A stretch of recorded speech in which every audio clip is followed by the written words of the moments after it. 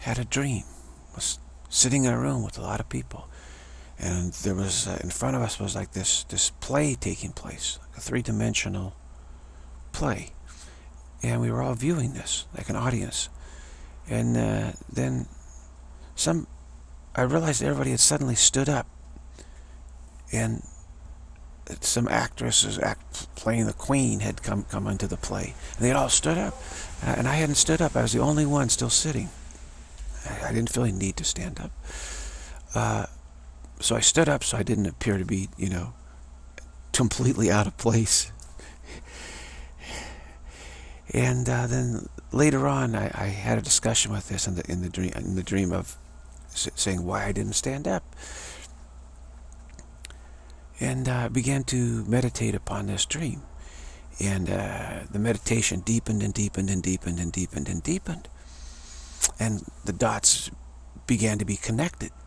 And uh, it was such a huge, huge revelation of all these dots being connected that I'm, I'm, I'm very much in the wow about what, what took place here. And it's, it's very much in line with, you know, the previous videos, how we're moving uh, first it was empathy training, empathize, and then I see it's imperilment training. It's training. We put ourselves. This is this is to feel that we're we're. Uh, well, it's empathy training. We do this through feeling that we're in danger, in danger, and the queen is the one we feel is judging how we're doing on on our progress evaluator, the evaluator. So all these people are standing up like dogs in a dog show. Oh my gosh, my chance to be evaluated. Here's the queen. Here's the evaluator. I realize that's the evaluator. The goddess, the queen, is the evaluator. And ultimately, this is what we call soul, our soul. And the truth is we don't have a soul. It's a projection. It's a mental projection. God created us perfect. Spirit. Absolutely free. Perfect. Just like God. Now, we we dreamed up with this whim that we that we're supposed to create ourselves. We have a need to be our own to, to create ourselves. We don't have such a need. This this this is the root of our problems that we we believe we have a need that we don't have. It's an imaginary need. This is the absolute root of it. Now, it, it's the, the etiology of it. Now, the, the pragmatic problem is we have a continuity, continuity fear. But what, what, what gave rise to the continuity fear is this belief that we have this imaginary need, that we have a need to, for, to recreate ourselves. So,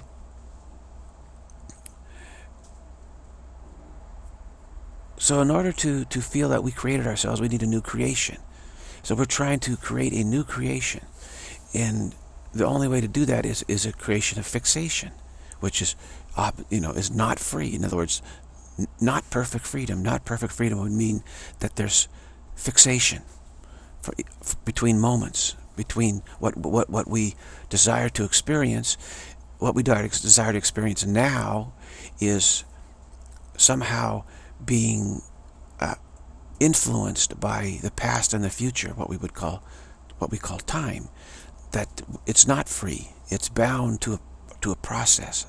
Okay, this is what's called would be called fixation. So we're imagining we're in this training so that we can function in a, in a, in a new creation. Now the soul is that which we claim is the the the overseer of this training. That it has the wisdom to know how to train for this new creation. So I've, I found myself in, in, in this identification with this world. This world is actually a custom training program we have made. We're imagining. We're sustaining it. We we created it. We didn't. Well, we dreamed it. We're sustaining the dream, and then we also change it, modify it to. We're the one, spirit, not God, the prime creator, and the, the our so-called soul which is really just a mental projection. There is no soul. But we project as if there's this advisor who will who knows, has the wisdom to tell us how to train for this new creation of fixation. And so it it designs our training experience. And so I found that I've been put into this training experience, which maximizes my feeling of imperilment, endangerment, which is designed to finish my training so that I'll be ready for the new creation. Fixation. Fixation would be give you a constant sense of, of total Im Im imperilment. That your freedom has been it, it has gone. So the way we prepare is, is try to uh, imagine we're not free. That our our experiencing based on freedom is in constant in danger and our very life is in danger all of this endangerment is is designed to prepare us.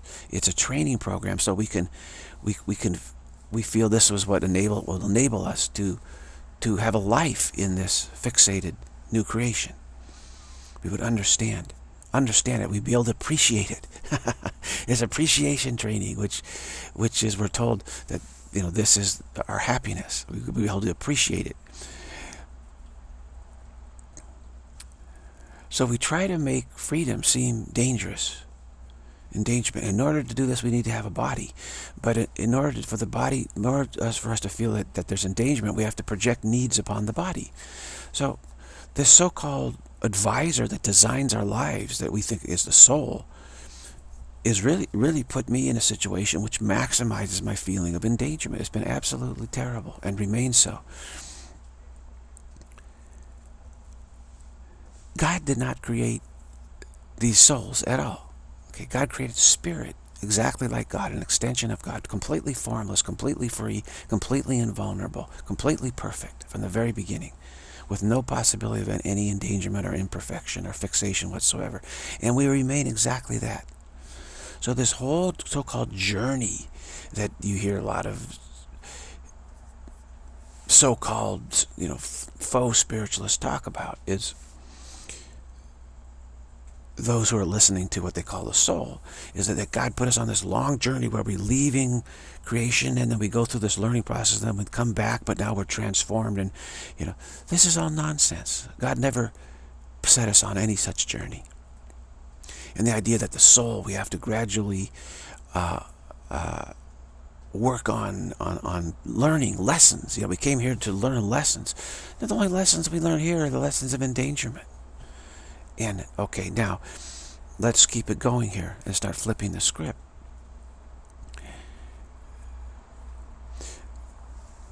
There never will be a fixated creation. There is no new creation. Not even a hint of it. So all this training is for, is for nothing. Nothing at all. It has no application. Now, how much, why, how much value does, does something that has no application whatsoever not even for our own happiness or, you know, none. How much value does it have for us? And if it doesn't have value, why, why do we need to try to evaluate it? Why do we need to evaluate this training program? Like, okay, how are we doing on it? There's no application to it. There's nothing to apply it to. The whole purpose of this is that we're going to apply it to functioning in a new creation, to, to experiencing to having identity in the new creation. We're trying to, to gain an identity, a new identity eh, in a, in a new creation, a fixation. There is no new creation. There never will be. So what value does all this training have? And if it doesn't have any value at all, no application whatsoever, why do we need to evaluate it? So in this dream, the queen came on the stage and, you know, like she's reviewing the troops, like just like a a dog evaluator in, in Westminster, you know, dog show. They're saying, okay, and judging the dog. How, how's this dog look? So everybody jumped up, and I realized they're so eager. They said, oh, my, here's my chance to be evaluated. I'm going to be evaluated. It's great. This is great. Finally, the evaluator, the chief evaluator is here. This, the queen comes upon the stage. And I've talked about the, the, the, this, this goddess, ego goddess coming back, coming into the world. And people are, are waiting for that. They feel they're going to be evaluated. But for me, I said, I said, I didn't see any, you know, I, I didn't react to it at all. Why do we need to evaluate what has zero application? Therefore, zero value. This only creates, brings about a state of confusion in our mind, actually. But people project this confusion and say, no, they're only confused about when this new creation will, when they will be ready. So that one, I'm confused. You know, when's it going to happen? When's the new creation going to happen?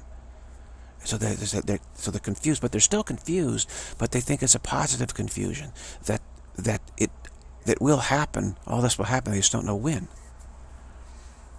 So they put up with this confusion. But actually the confusion is over trying to evaluate nothing. And we're thinking, how do I how do I evaluate nothing? And they say, well, I just need to learn how to evaluate nothing. And this this uh, and I don't I have to learn how to appreciate nothing. So I have to feel as if I'm going to become nothing in order to learn to appreciate it. So we have all this endangerment that we've dreamed up, this whole endangerment training. Oh, I'm about to die. I'm about to be killed. I'm threatened. You know, I'm about to. But all, Jesus says ultimately, I mean, a lot of teachers say, I am not the body, okay? But Jesus goes further, further than that. Not only are we not the body, but the body is not the body either. He said that these needs that we that the body seems to have are mental projections upon the body. The body actually cannot be endangered, Jesus said. It's just an appearance that we can sustain perfectly. But we're projecting all these so-called needs upon the body, just as we projected a, a need upon our spirit, saying we have this need to be the creators of ourselves instead of God being our creator. Those, this all mental projections. None of them are true. And so why do we need to evaluate the value of what is not true? Of nothing. So in this dream, I didn't feel any sense I needed to be evaluated. But all these others were so. They said, oh my gosh, here's our opportunity. This is what we've been waiting for. To say, how's my training? How's, how's my training been going? Have I reached, have I succeeded? And of course the queen will say, well, you're, you, you've, you've got a lot of potential. You're getting there. You're almost there, almost there. I say, okay, great, great, great. But I, but I feel something like, I'm not sure when. Well, yeah, you, you're not, you're not going to know quite when. So just live with that confusion a little longer and, it'll be cleared up. You know, when it happens, you won't be confused anymore. when the new creation happens, there is no new creation. This is outrageous to think that we've um, we just we made dreamed up this need for a new creation. Now, the one creation that God created is is perfect. God did not create a need for a new creation, and therefore, that's not the will of God. We can we we don't have a will separate from God. We cannot will separately from God. We can just have an idle wish, wish for a will separate from God, and try to train as if this will eventually happen so that we're preparing for it, but it will never happen. So all this training, preparation training, is all for nothing. It's no application for it. None.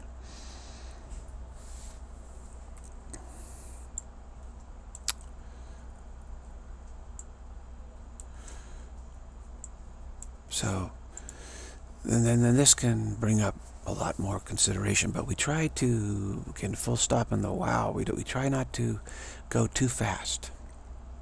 So I'm slowing it down here a little bit.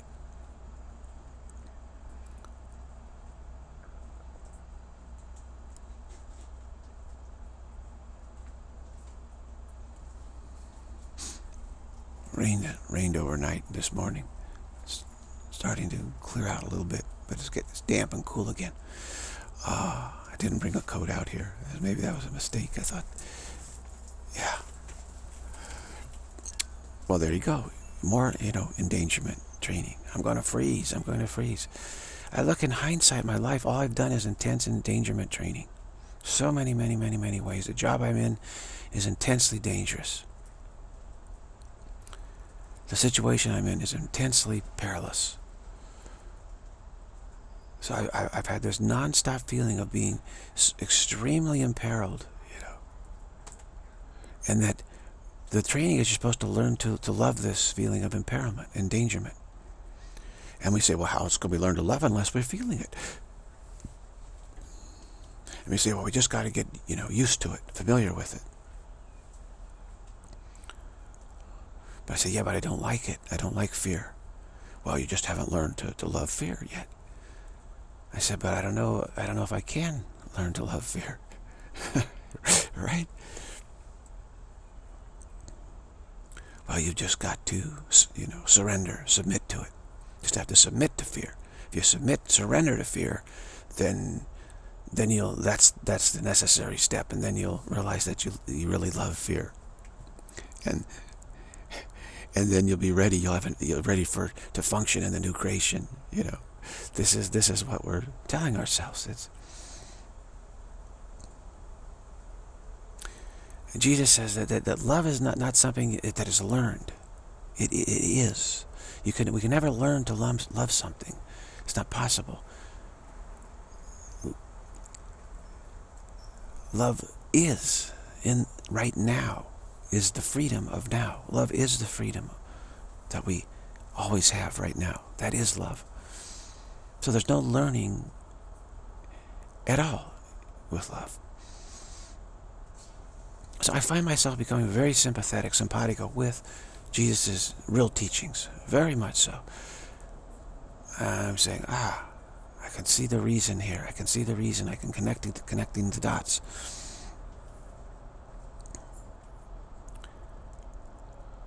Traveling. Going somewhere, a vacation, for instance. Go, it's a really beautiful place. Well, just getting there is, is extreme imperilment if you're driving like, you know, 500 miles on the freeways and roads. This is, you're constantly imperiled, you know, situations of imperilment. Tired, you're extremely tired. Can I stay awake? In a new, different situation, and can I get the food? Do I have the money? Or am I going to run out of money? All this stuff. Well, maybe the place is beautiful, but just the experience that, you know, getting there is, is extreme endangerment. And again, I find myself in this situation. So, but who, who has designed this training program for me?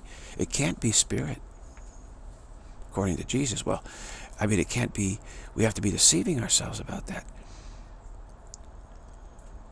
It can't be God, let's put it that way. It cannot be God, that is for sure. And we don't want to realize it's spirit because we say, well, I could, I'm not really in danger at all. This is a dream. So we say it's soul. You know, there's a soul or there's this oversoul that is designing all this. And, and it's doing it for our own benefit. So we just have to follow along with it.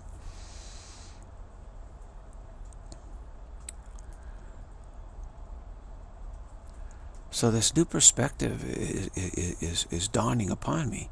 And so when a new perspective dawns, you, you don't have you don't have the familiarity with the new perspective, and there's some things you know that need to you know just see how this all fits. So there's a wow reaction. You're not really sure what to do. Now I did realize this morning that that sitting quietly and being committed to no action at all just is actually extremely helpful because we're not really feeling so endangered by doing this. It's kind of getting used to non-endangerment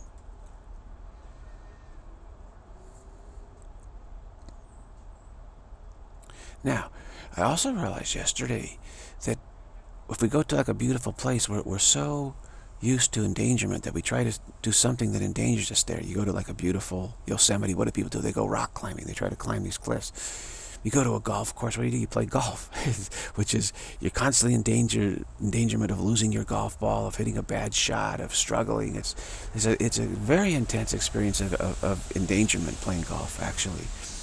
And I did that yesterday. And, I, and on the way there, I realized this is what it's all about. Instead of just enjoying the beauty of the place, we put ourselves through endangerment training there. Now, it's if you're wise, it, it's partly that this is the price you pay here in this world to not stick stand out. Like, what are you, you know, what are you doing? How come you're not playing? How come you're not working on endangerment? We need to help you out. You know, you, you seem to be lagging behind, and so we'll be helpful for you. So people here, in order to be helpful, they, they, they help you get into endangerment training.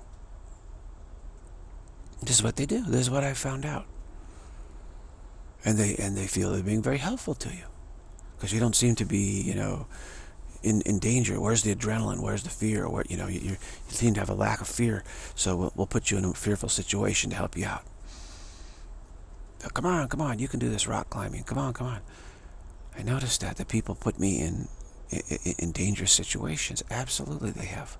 That's, they think they're helping me. And of course, the goddess, they claim the goddess and the soul, the goddess, is uh, informing them that this is helpful for me and that they're authorities on this. Well, they may, our, our projection of goddess, ego, matriarchal, patriarchal, egoic goddess, uh, soul complex, it, it may be advising us, you know, of endangerment. That's what it's doing. So it may be thinking it's helping us out on this endangerment program, but we don't have any need for this program at all. And there's no application for it whatsoever. So it's just an idle wish, a whim. So I don't, I don't have any such need. I don't have any real need for fear at all. I don't have any real need for fear at all. It's a made-up need. So I'm looking back, so, oh my gosh, these all these people said they're doing me a favor. You know, hey, you're on vacation. said, oh, let's go rock climbing up this here. And I get stuck up there and, and, and felt in ex extremely imperiled. My life, you know, was, I keep getting put in these very, very dangerous situations and my life is severely threatened. And, and I didn't even want to do it. I resist. I said, I don't want to do that. You know, I don't, I don't have any need for that. They say, oh, no, no, no, we know better. You do have a need for it. You just... Uh, are deficient in understanding this. I, but actually, I was right. I was spiritually right. I said, no, I don't have a need for this. There is a made-up need, a whimsical need that everyone here has. The problem is that this world is completely dedicated to endangerment training. So you come here, and everybody thinks you're nuts if you don't, you know, if you don't train. They think that you're retarded or something. That you don't, you're spiritually retarded. Now, the best advice is don't even come to this world at all.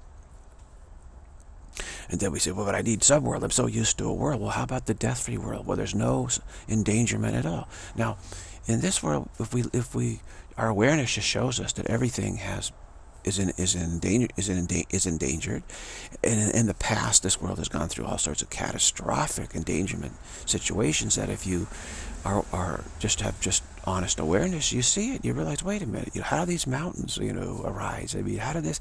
Well, huge earthquakes and and pole shifts and, and stuff like that where sudden suddenly they get lifted up and all the sedimentation, everything gets worn down. You realize that there's just been constant endangerment here. Uh, and death and endangerment and catastrophe, you know. You, see that. You see it. So it's, it's from the very beginning this world was dedicated to this training program. This is what we imagined it as. And so when you come here, you're going to feel this sense of, of surrounded by evidence of imperilment. Absolutely. Absolutely. And if you identify with the body at all, or project any needs upon the body at all, which everyone tells you you have to do, then you're going to feel, feel endangered. So the best advice is don't come here in the first place. Don't have this imaginary need. Now, what if we recognize that, that this need is imaginary? We, it's not a real need at all, and this training is all completely valueless, no value to it whatsoever. But we say, but we're so used to a world, we're still so used to forms, we're so used to nature, we're so used to, and we, we get scared. What's that called? The continuity fear. So we say, I need some world. Just can you, is there some world where there isn't all this evidence of endangerment? And the answer is yes, there is such a world. There is such a world. They're just like parallel world that seems to have be just as old as this world, having but and yet everything there has been there from the very beginning. And there's nothing that's ever died. Now I've experienced this world. I had an experience of it and you realize that this tree, this tree's been here for billions and billions and billions of years. It seems you know, ancient. It seems from the very beginning of this world, everything there has been there from the very beginning, and, and, and the world has not lost anything. Nothing has ever passed away.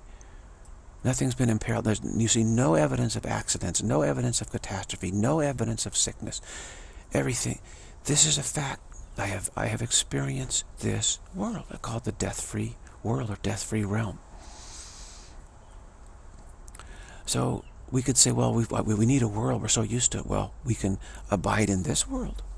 We don't need to to go to this to enter this world here at all. And that's very important to realize this. After we leave this world,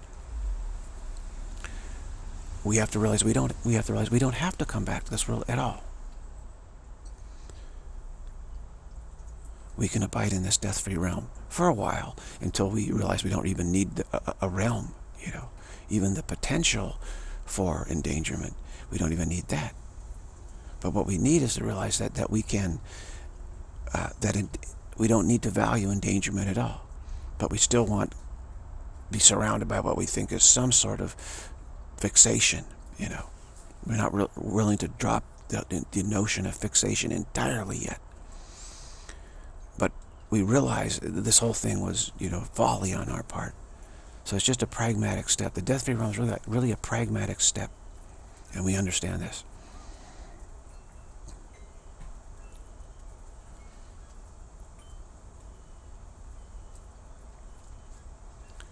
So yeah, coming into this world, it, trying to remain true to, to, to truth is, is so difficult.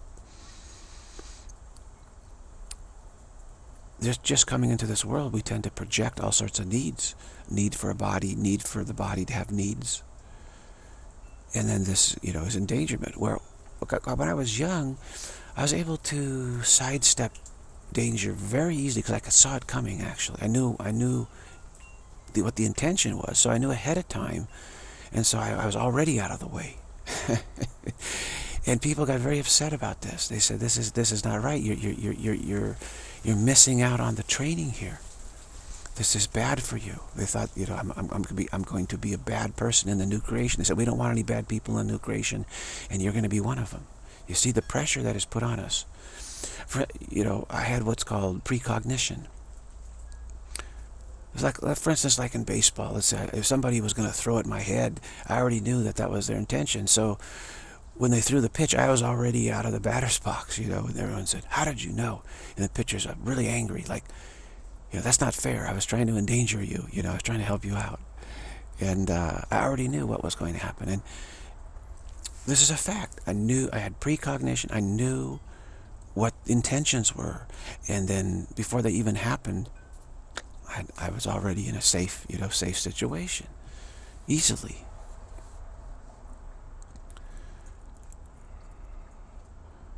But, but what happened was people again said, wow, you're going to be a rotten egg in the new creation and you're going to, you're to ruin it for all of us.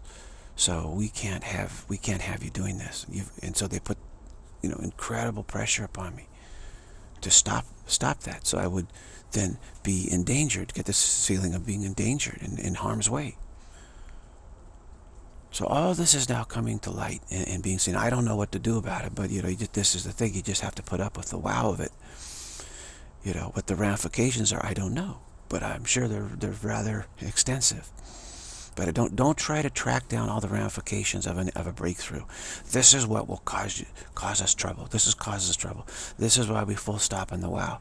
What we what we emphasize is wow. I've had this tremendous breakthrough, and it's that's enough for right now. You know, I don't need to track down all the ramifications of it. This will drive us crazy if we try to do that. Obviously, the ramifications are enormous.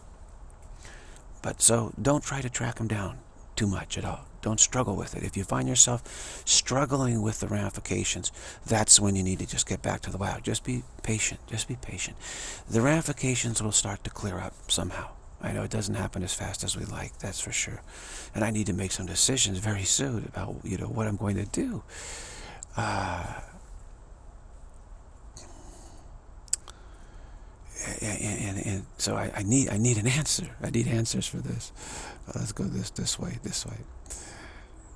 And yet, have to be patient with it, just to have some faith. It, it, it will clear up somehow.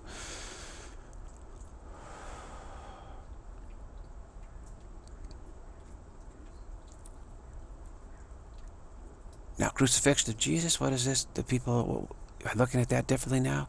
And they're saying that Jesus came to show us um, how to be, how to perfectly prepare for the new creation, how to be, how crucify the bodies and, and fixate, you know, this fixation upon a cross is we think, oh, okay, if we just learn that lesson, that's the final lesson we need, and then we'll be ready for the new creation.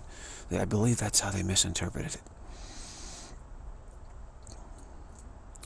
Thinking that the, the soul, this advisor of this training program, which they call God, uh, sent Jesus to show us how we can finish our pre preparation for the new creation. Yeah, misinterpreted, misinterpreted, for sure. And again, we don't struggle with the ramifications of that. We just say, okay, I, I, can see, I can see this now. Okay. Just let it be, let it be. The, the skill of not trying to track your ramifications down enables one to go much faster. Like a butterfly. You just kind of look quickly here, quickly here, quickly there, quickly there. Okay, okay, okay, I see that, I see that, I see that. the ramifications will arise automatically from, from seeing it clearly.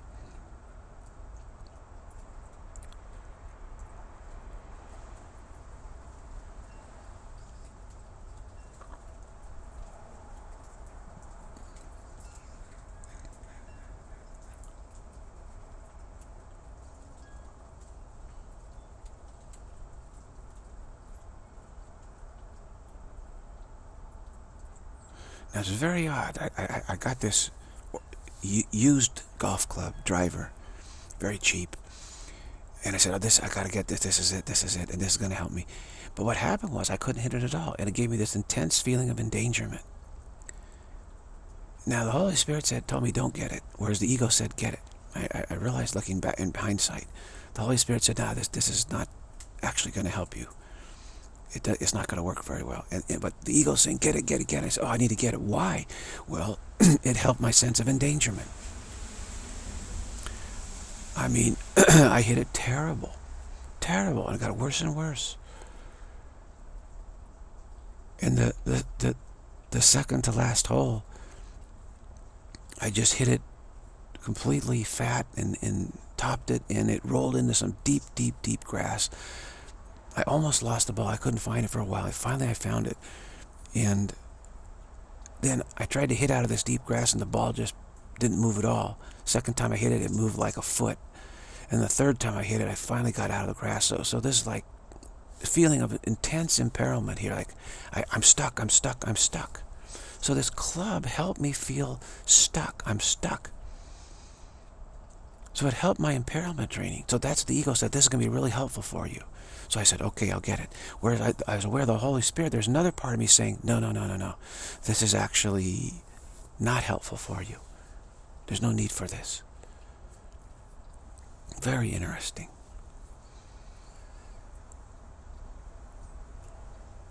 So there is this, the ego or the soul and the spirit, and, and the soul is saying, this is helpful for you. And, this, and the Holy Spirit is saying, no, no, no, no, you don't need that. So it claims, the ego claims this is improvement. Well, what did it improve? It improved my imperilment training. In fact, the last two drivers I've got have done just that. The one, one I have, the one that I'm familiar with, it works great, really. It's just that I felt that I was trying a new swing with the ball way in front of me, so the ball was getting too high. So I got, I thought if I got this driver the lower loft, but lighter swing weight, it would help. Blah blah blah blah blah. Deeper face. Turned out not to be the case. And because I had to change my swing again, it just made imperilment. It just caused this feeling. Uh, it was terrible. And then we were hitting directly into the sun. I couldn't see at all. But ultimately, I, I didn't lose the golf ball. First time ever there that I haven't, I think I've, I've played the entire round with just one golf ball. Maybe, maybe the first time ever. It was extraordinary. And the golf ball actually was hardly marked up at all. I just cleaned it and it looks almost brand new, which is really extraordinary. It's the chrome soft golf ball. I was heard they're very durable and I thought, oh no, they're just saying that. No, it's true. It's true. Very durable. As far as performance-wise, eh, it's a, it, it's fine in all in all ways. It's fine. It it's not. I wouldn't say it's super, but it's it's it's it's, it's very good. It, it behaves very well and very durable. Interesting. Interesting. So in other words, the, the ball didn't get imperiled. So there's something telling me he didn't get lost. So something very positive came out of this, you see, in hindsight. Because I went to the course, I had this breakthrough, realizing, oh my gosh, I'm going to this beautiful place, but for the purpose of imperilment, endangerment training. You're in danger of losing your identity. You know, fixation is this feeling that you're in danger, danger of losing your identity because ultimately we're free. So to, to believe in fixation is to believe in our own death, is to try to set ourselves up for, for, for, for, for dying, for losing our identity. This is what Jesus tells us to, and he's right. I'm, I'm, I'm uh, corroborating uh, what he has said. I'm, I'm, attesting to it, to what Jesus has taught us. I'm, I'm attesting to it. I'm witnessing for Jesus' the truth here.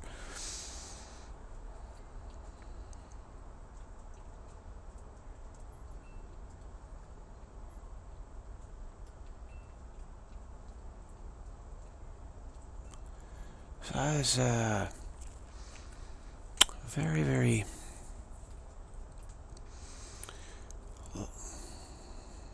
So it's hard to know what to do in the future, right? When you hear this wisdom, you say, well, I don't know what. Well, it's, yeah, this is how I feel, and I don't know what to do exactly. Uh, so this is why we have to be patient. And, you know, more, more clarity will arise around this as we get familiar with it. Start making better decisions, hopefully. Yeah. Uh, now, the, the, the, the, new aspect that's come up here that I, think, I believe is most important is the pressure that that everyone puts on us to not be a rotten egg in the new creation and not to ruin it for them. Not to frighten them. If someone's in the new creation who's free, they'll say, no, no, that's, that's threatening us with death. If everyone accepts that we're not free, then we won't have any imperilment from freedom. You know, so they, they put pressure on us to put us through, put ourselves through endangerment programming. So what I did was I wanted to, to not have everybody angry with me so I could teach them spiritual truth. So I ended up putting myself through intense imperilment training. So they would look at me and say, oh yeah, he's, he's good. He's really depressed. He's really sick. He's, oh great, he's with the, getting with the program now. And then trying to teach them the truth. The problem is then what I was teaching them was exactly opposite of what I was uh, experiencing here. So then they get conflicted. And they say, wait a minute, you know, you're conflicted teacher here. You're, what you're saying, what your your walk is different than your talk. But they demand that your walk be one of endangerment training. So then how can you teach the truth here? Because they'll say, well, you're, you're conflicted. You're not, you're, you're, you're, you know, you're not, the walk and the talk are different. So how can you win? You know, how can you win here? It seems like a no-win situation here. Because if you don't go through endangerment training, they feel that, you, that you're a bad, you're a terrible person you're retarded or a terrible person, that you're going to ruin the new creation for them. You're going to cause them fear in that new creation. Make them feel endangered. from what? From freedom, from truth, from reality. Because we don't want any of that. So they won't listen to you. So on one hand, they won't listen to you. The other hand, They'll listen to you, but they claim you're teaching a, a, mixed message, and therefore you aren't a genuine teacher. So they don't listen to you either. So either way, they won't listen to you here. This is pretty much how it is.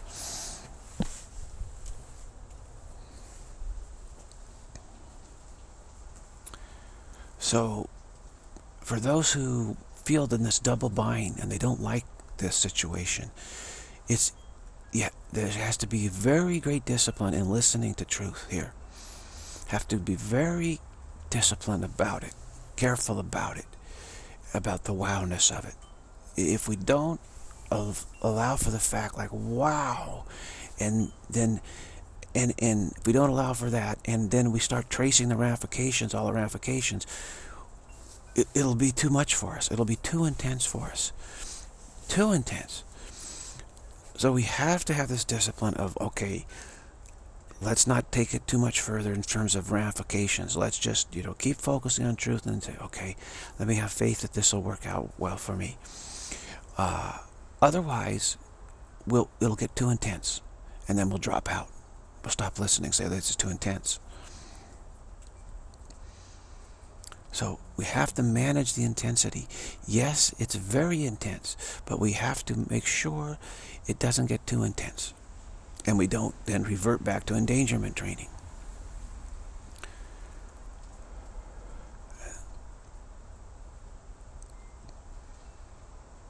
It's getting quite chilly out here. Wow. as the cloud cover leaves, you know, that the heat then dissipates as the, you know, because the cloud cover traps the heat and now it's clearing up, then, then all the heat's dissipating and, and there's not enough sunlight to right now to heat it up. And, and this is where the chill starts setting in. Maybe I should get a coat. Let me do that. Let me not be stupid. Let me go get a coat. Hold on. This won't take very long. Just use this time as, as, as to let the intensity cool down, okay? Let it cool down. Be right back.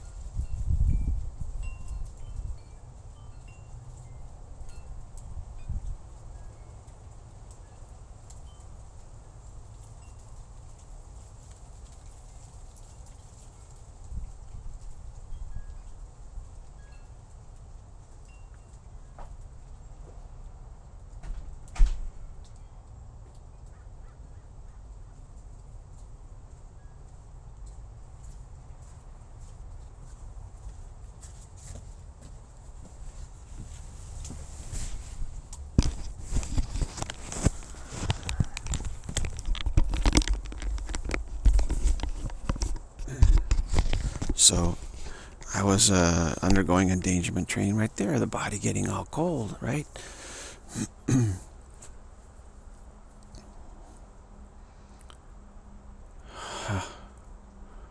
wow.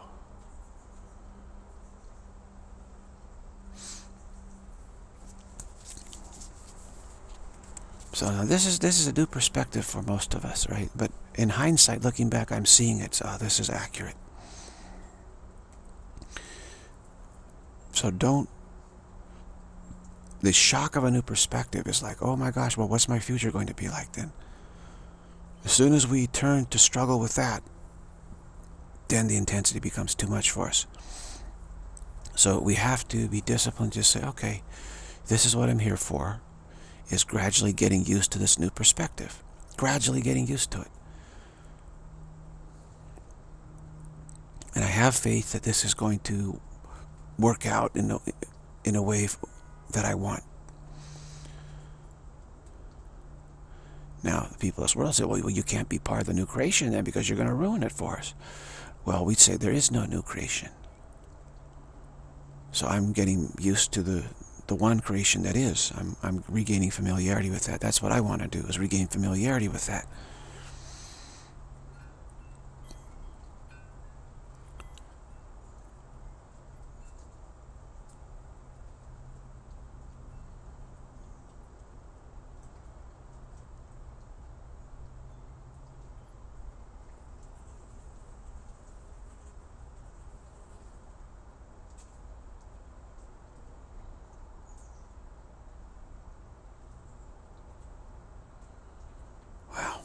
It's, it, it's tough. It's tough to to reassess the future. If you have a new perspective, then you have to reassess everything. So it's important not to struggle with that. That's you know, very important. So those who want to recognize the truth, even here in this world, it is quite difficult. There needs to be, has to be this discipline. And again, the best advice is don't come to this world at all. Eh, but coming to this world is based on an imaginary need. And this imaginary need didn't come from this world. It comes from spirit. So as long as spirit is is having believing in this imaginary need, it will continue to go put itself through this endangerment training.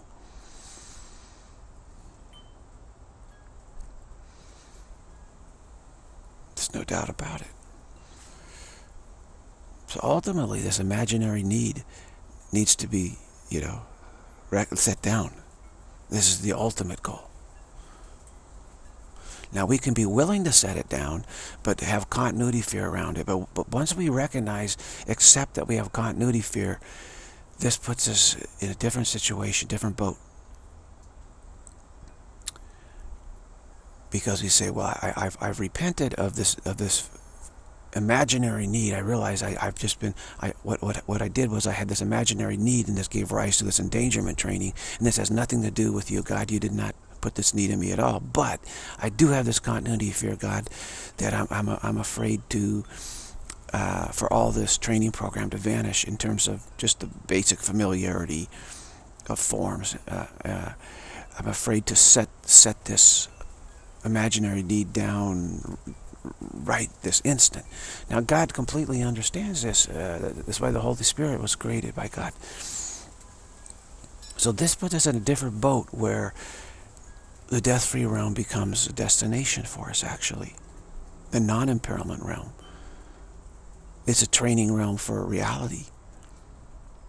It's a training realm to, to, to, to be able to finally accept we don't need this imaginary need. We don't need any training program of endangerment. We do need a training program pragmatically to refamiliarize us with, with, with perfect non-endangerment, actually. So we, our training program we really need is, is to refamiliarize ourselves with perfect non-endangerment. That's what we really need. And that's what the death-free realm is, is for.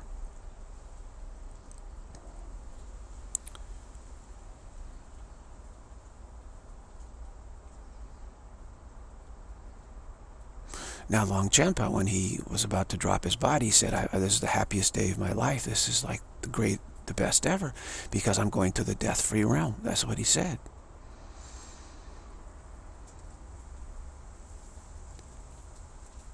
Now, it is true. Uh, from my perspective, I would say we actually, it is possible well, Jesus says it's possible to experience this world here as if it were a death-free realm. There's a way to experience it, he says. Also, it is possible to simply have your body turn into light, appear to be light, and just vanish from this realm, and, and, and you will find yourself in the death-free realm. That's also possible. But Jesus says also... What was that? what was that? That is very strange. Uh, Jesus also says it's possible to experience, while we're here in this world, to experience it in a different way, to see it in a different way. Calls it the vision of oneness, vision of Christ. And he said that's probably the, the, the, the goal that you should have it right at this moment. And then, you know, later on when we leave this realm, no longer appear here, we can then dwell in the death-free realm. Uh, you know, but knowing about this death-free realm, knowing about what it's there for, you know, is is supremely helpful so that we don't find ourselves getting a return ticket to this realm for more training. As I've said, it's very difficult here to not train for endangerment because people feel that you're going to ruin the new creation for them. And so they're very hostile towards you. They put enormous pressure. So I don't advise, you know, coming back to this world at all. Once we, we leave this world, ultimately, as far as we, we stop projecting the appearance of a body here, I don't advise coming back here.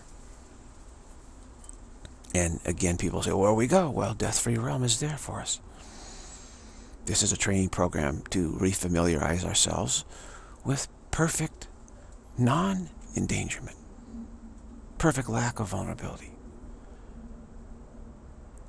Vulnerability is would be meaningless without this sense of endangerment, right? That, that I'm to lose, lose my identity.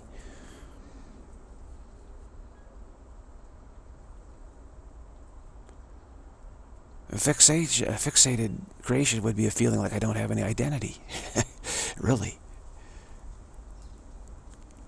So we keep practicing this feeling of I'm going to lose my identity. My identity is going to be destroyed. My identity is going to be destroyed. When we use, when we use this body, identify if the body is a mechanism, and the body feels it's, it's imperiled on all sides constantly. When you're driving, you're you're imperiled on all sides.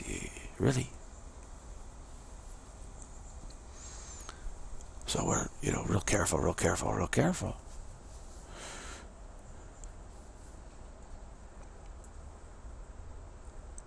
The Silicon Valley here, the, the endangerment training here is, is, so intense, it's too intense. It's you feel every time you go out driving here, it's like in, it's, it's tremendous endangerment.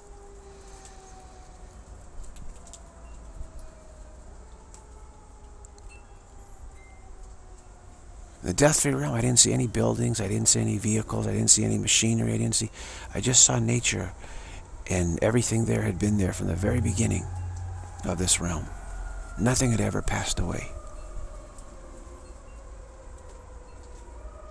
And everything in immaculate condition.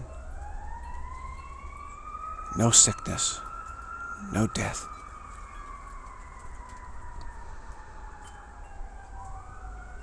There are sirens, endangerment. Someone's in peril, right? Someone's in danger of what we think of losing their identity,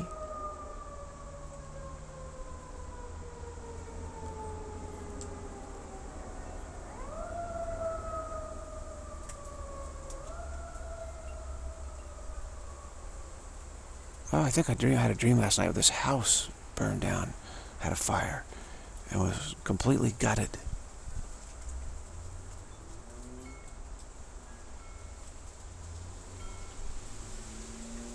Now, I used to know what, was going to happen, uh, you know, before it happened, so I would tell people, warn them about it. And I found out they got very angry with me because for them, this was like a, a, a, less, a lesson of, of, endangerment they needed to go through that their quote-unquote soul had designed for them.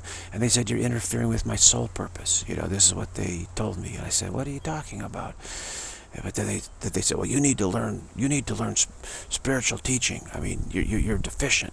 Don't you know about the soul and the soul training program and this whole thing? And this is very important. We need to learn all this. And, and you don't even know about that? What's the matter with you? You know, you're some sort of, you know, spiritual moron, you know?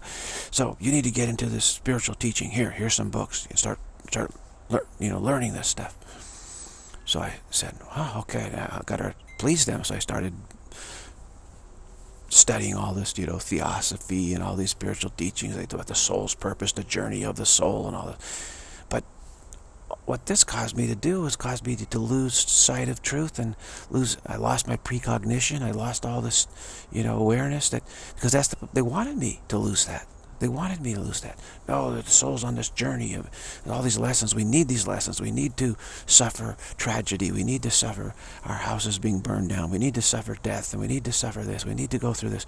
And you, you can't come in here and, and, warn us in advance of this because then we would, we, we, it would change the, the impact of it upon us. You know, there's a lesson I need to learn. this is what I got here. This is what I got. Nothing but grief trying to warn people about stuff, I realize that they hate that. They, they, they feel you're the enemy of their happiness. So I have a very difficult time now, you know, seeing what's going to happen because I know the pushback is so extreme. Now I have accurately warned about quite a bit. Uh, but it is it's not as easy as it, you know, it wasn't like it used to be where it was just effortlessly I could see because of the, again the extreme hostility.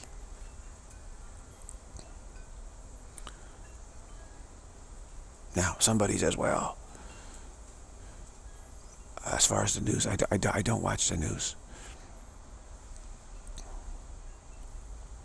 Again, what, why do we need to evaluate what has no value? it's, it's, this just breeds confusion. How do I do this? How do I do this? Struggle, confusion endangerment training has no value. So sure, uh, there's some uh, endangerment situation happened in Paris. Somebody mentioned it to me, and I just said, "Ah, what a shame." But I don't, I don't know what happened at all. It just, well, you know, some sort of attack or whatever.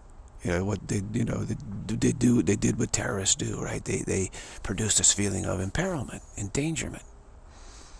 But this is part of the training program of this world. This is why it's going. Now, there is, I also been talking with people recently about this Silicon Valley, the Bay Area, and the extreme crime waves that, that have been happening here that I don't even know about. It's like, yeah, we've been overrun by criminal home invasions. What? In this really beautiful enclave, you know, of high industriousness, uh, uh, uh, intelligent, you know, professionals? Yeah. And then I talked to someone else recently, same thing, said, right here, you know, in the heart of Silicon Valley, while these super rich people, says, we've been hit by a huge crime wave. What? So there is this, and I've noticed that there's this intentional effort to produce crime waves in the United States by one, trying to take the guns away from citizens. There's nothing that deters crime more than the criminals realizing that every every house ha has has guns and they know how to use them. People know how to use them to protect their property. That is a gigantic deterrent. And you have to make sure the criminals know this. So there has to be a show, you know, of this to let them see.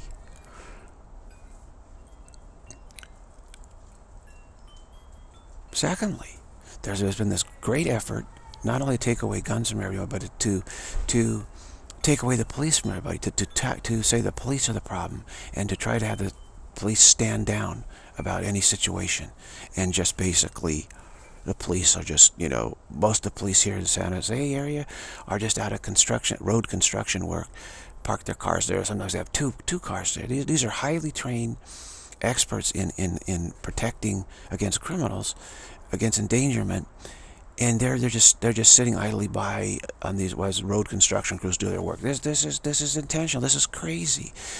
just train some anybody to be a traffic control person or to sit there, stand there.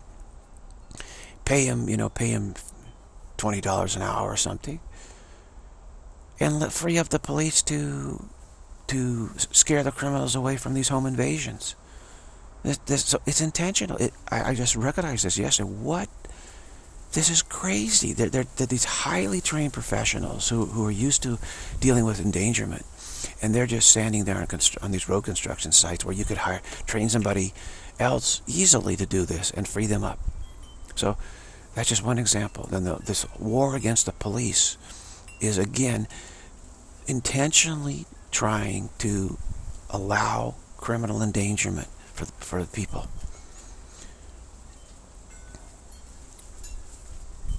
And this is what happens. It happened in Baltimore, for instance, that the crime shot up, what, 300%? It was horrible when the police stood down.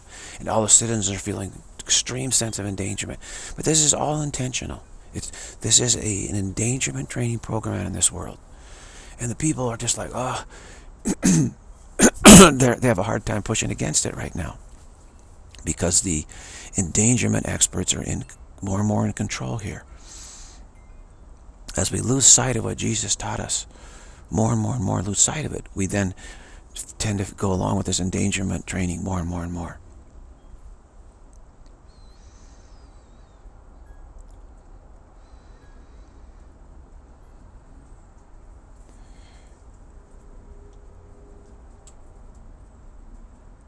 So even in the area I live, the, the people are reporting that there, these home home invasions are happening now more and more. And so people are feeling, you know, in danger. But I got to put up cameras. I got to put up. I got to, you know, put up a fence. I got to do this. I got to do this. I'm endangered. I'm endangered. And this this flooding, flooding, flooding the zone with people who don't have education enough to get good work. They can easily be put out of work. What are they going to do? Well, they're going to resort to criminal activity, of course. It's intentional. It's intentional. If you understand what the purpose of this is, then you see the intentionality of it all. We are intentionally threatening ourselves here, putting ourselves through this threat training, endangerment training, imperilment training, to, to empathize with what we feel the new creation will be like. And we feel we need to empathize with it. We need to feel, yeah, this is this is good. This is what we want. This is what we really want. And I know how it feels. So we think that then that will bring the new creation. Somehow it will catalyze it and it will happen. Something along those lines, you know. We're trying to make it happen. So that we're all feeling like, oh, we're criminally in danger. These criminals are in danger. We think that actually will help bring about the new creation where we'll feel, we'll know how to feel, we know how to to be there with it, you know, to feel it, to experience it, to function in it. Wow.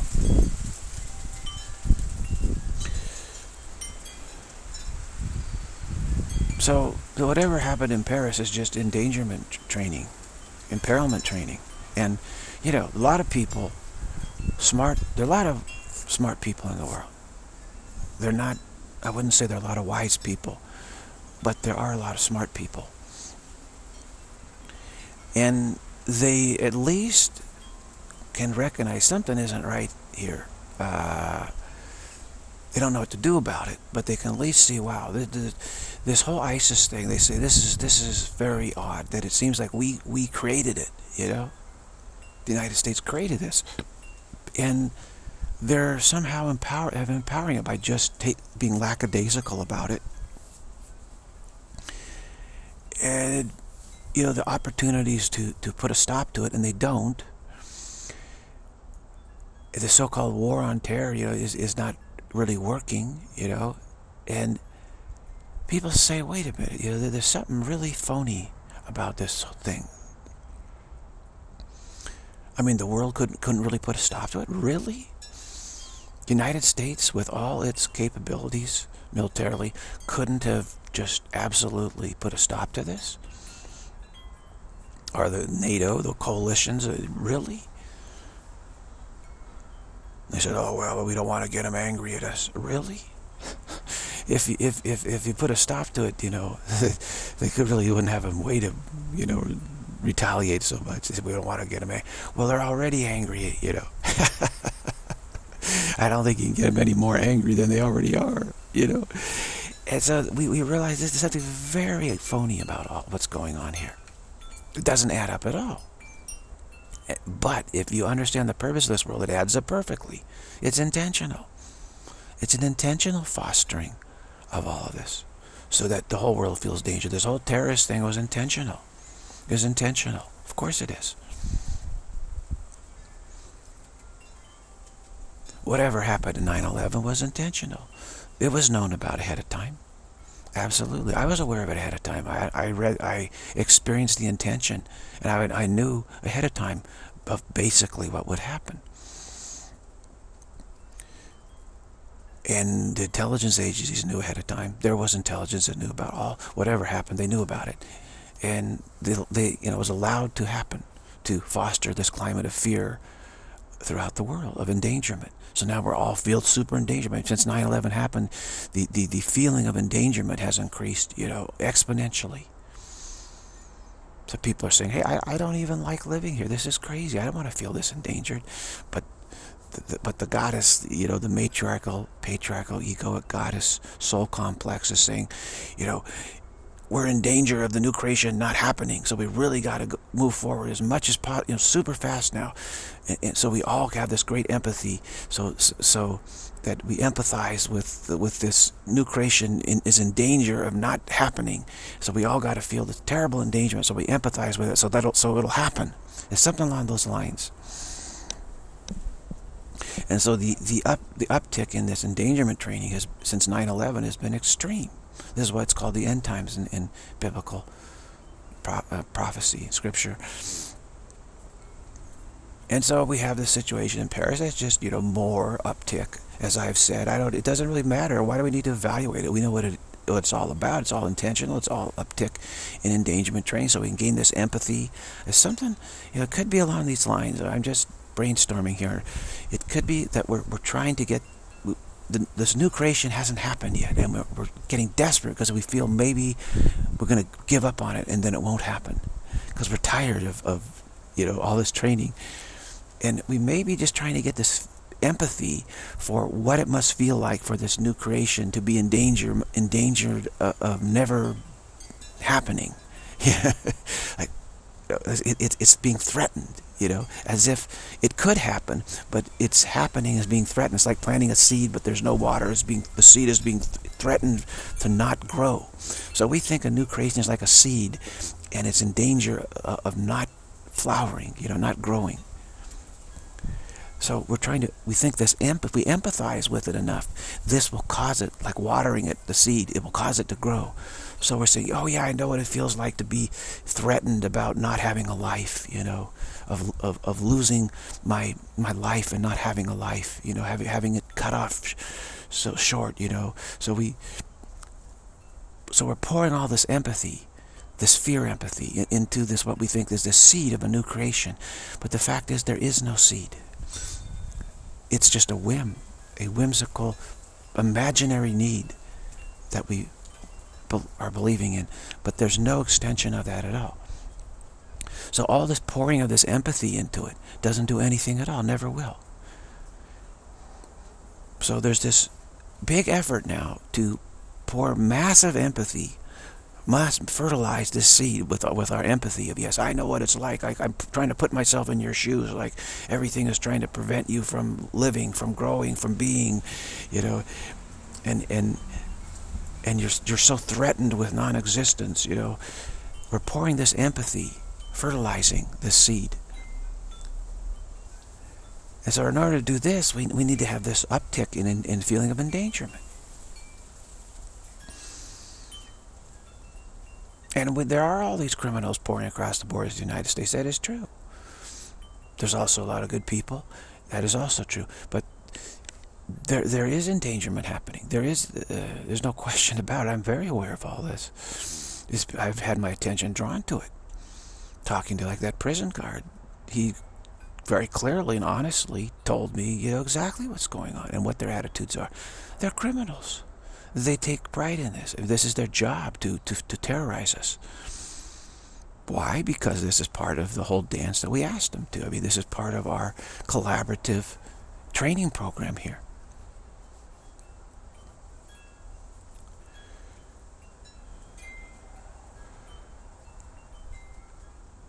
Now, the, the Christians have it, you know, they're mistaken about Jesus and the crucifixion because they think that, that Jesus supplied the fertilizer for this new creation by his crucifixion and we don't need to put any more fertilizer upon it, that it, it automatically is going to take place uh, when Jesus comes back. There's going to be this new creation, that, he, that, that the crucifixion of Jesus, we put all the sins, in other words, all the endangerment, he experienced it all for us.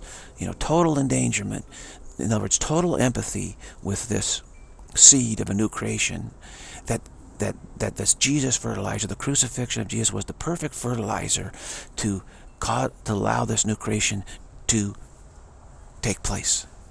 So the Christians say, are saying we're just waiting. We know it's going to take place. All we need to do is wait. We don't really need to pour out any more fertilizer ourselves. We just have faith that Jesus put the fertilizer for us. This is, of course, a, a, it's, it's a mistake. right? There is no new creation. So that couldn't be what Jesus did. But this is what they, you know, this is how they how they see it. They're just waiting for the new creation. What we're saying here is there there is no new creation. This is just an imaginary need. The need to create ourselves, be created creators of ourselves instead of God being the creator of what we are, spirit. So it doesn't matter how much empathy, fertilizer empathy empathy fertilizer we pour out on an imaginary need, it's never going to grow. It's never going to happen. Now I've said Jesus is already back, but Christians don't don't want to accept that because they say, well, if Jesus, if Jesus is back, that means a new creation should should be here then. Should have happened. As soon as he comes back, there's going to be a new creation. And it hasn't happened. So, see, this is the mistake.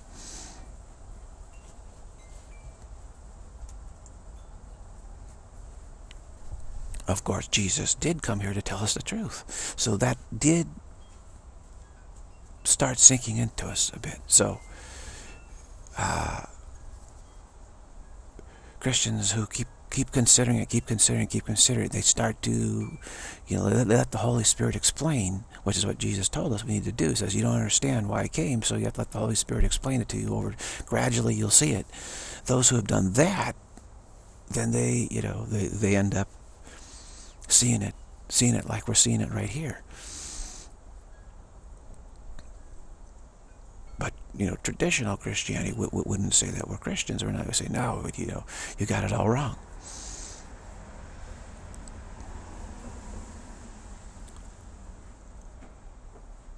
So you know what's next in the impairment training. Well, why, why do we even why do we even worry about it? It's going to be something.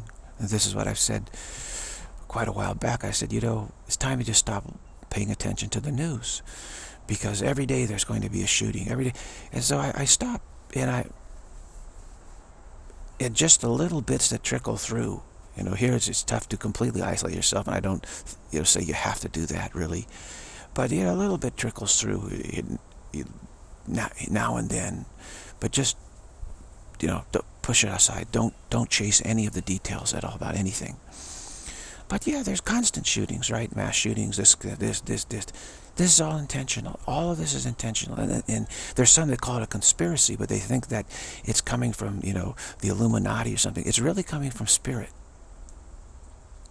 It's coming from spirit. The conspiracy is, is from spirit. It's a spiritual conspiracy. It's, a, it's an attempt to fertilize with empathy of, of, of endangerment, fertilize this seed of, of a need to have a new creation to, for us to create ourselves. And this is not a real need at all. Therefore, it, it cannot happen. It cannot. We cannot create separately from God. All creation's co-creation, meaning it's an extension of God.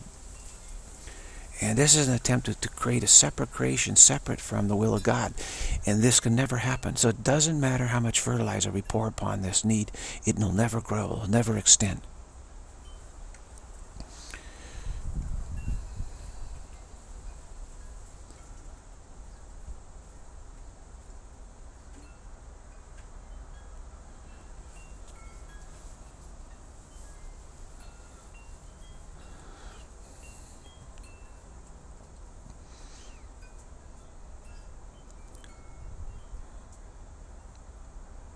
Jesus said he's come back just as, as a friend to hang out with us. Now, how does he hang out with us as a friend?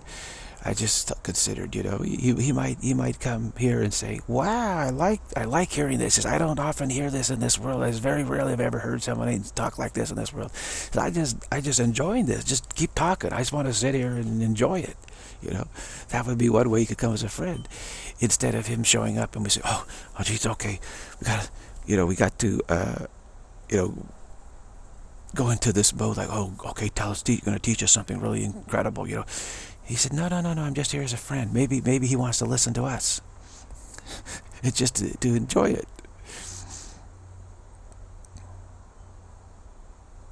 It's like going on a golf course. You might just, ah, I just want to enjoy the beauty of it. I don't even want to play. You know, I, I'm you're playing great. You know, I just want to sit back and relax and watch you play great. It could be something like that. Now, I would say that Jesus would probably very much enjoy what's being said here. He'd say, ah, there's music to my ears. Love here, love hearing this here in this world.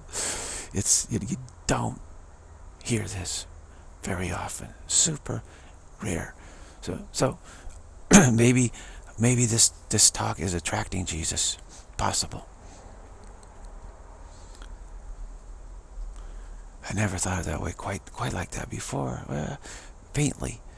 But if, if Jesus were to be walking, waving to me, hi, you know, I'd say, oh my gosh, okay, uh, I, you know, how would I react? Well, I can see there's two ways to react. One is, oh, he wants to teach me something really advanced. I don't know if I'm ready for that. Or, or he might be saying, hey, can I, can I just sit down here, you know, in a chair and just sit here and can I just, just hang out and listen to what you're saying? I'm enjoying it. Not that he see he doesn't need to to he doesn't need he already knows all this. He just so he doesn't need to learn it or to you know to get familiar with it. But why not just enjoy it? Why why should we say Jesus can't just enjoy? Why do we say he has to be in the role of a teacher or whatever? Why can't he just doesn't he deserve to just enjoy a little bit after all this teaching effort he's done? Why not? Why can't we grant him the, the right to just enjoy? So if Jesus might say, hey, can you just talk this talk? And I just want to sit here and enjoy it. And say, oh, okay, yeah. I'm trying to, I'm trying to, trying to move in this direction. You know, he deserves it. He deserves, he's, he's done his teaching. He's done so much. He's done so much. He's just, he's just a brother of ours, a friend, you know, a perfect friend of ours, a part of the one spiritual family that is. Why, why should we constantly cast him in the role of having to ceaselessly importune us and teach, teach, teach, teach, teach. He's already done that. So can't we grant him a little enjoyment? maybe it's our turn to, you know, to talk and let him just enjoy it. Just say, ah, love this. It's nice music. It's like a song.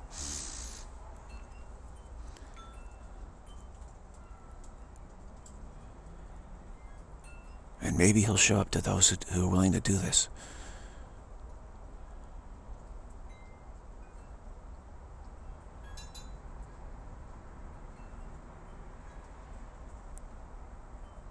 That's what Sri Sri Anandamayi Ma did. Um, she didn't teach hardly at all. She she just go around to these various teachers who are really good, and she just said, "Can I just come in here and just listen to you? I just I just love I just love listening to this." Or she'd go to those who are doing the Nama Sankirtana, repeating the name of God, you know. And she said, "Can I just you know sit here in the back of the room and just listen?" And they say, "Well." She says, well, no, you're this, you're this great teacher. I mean, you, you, you come up. She said, no, no, no, no, no. She says, I, I just hear, I just, I just love hearing this. I just enjoy it. I just here to enjoy your spirituality here, you know. This is what I, I just love it. I just want to enjoy it. I don't want to be some big teacher or some guru. She says, I'm nobody's guru, she says. I'm nobody's guru. I'm just here to enjoy what you're doing. And of course, this helped us motivate us because the, her enjoyment was so blissful everybody just said, wow, this is great love us. So this motivates us to practice more because if we practice more, we get this blissful friend that comes, says, hey, I just love what you're doing. So can I just hang out here for a while? That's actually what she did. Didn't come to bring her teaching, really. They said, no, we got to prop you up. This is a big teacher. She goes, no, no, no, I'm just a simple little child who just loves, you know, spiritual practice. So I just, I, I, love it when you practice. It makes me feel, I, my bliss just overflows, you know, which is true, which is true. So why can't Jesus be that the same way like that? Why do we have to cast Jesus in, in, in a role, in, in some other? Why can't we cast him in the role of just a friend who, who, who has the right to just enjoy for a while, enjoy our spiritual practice?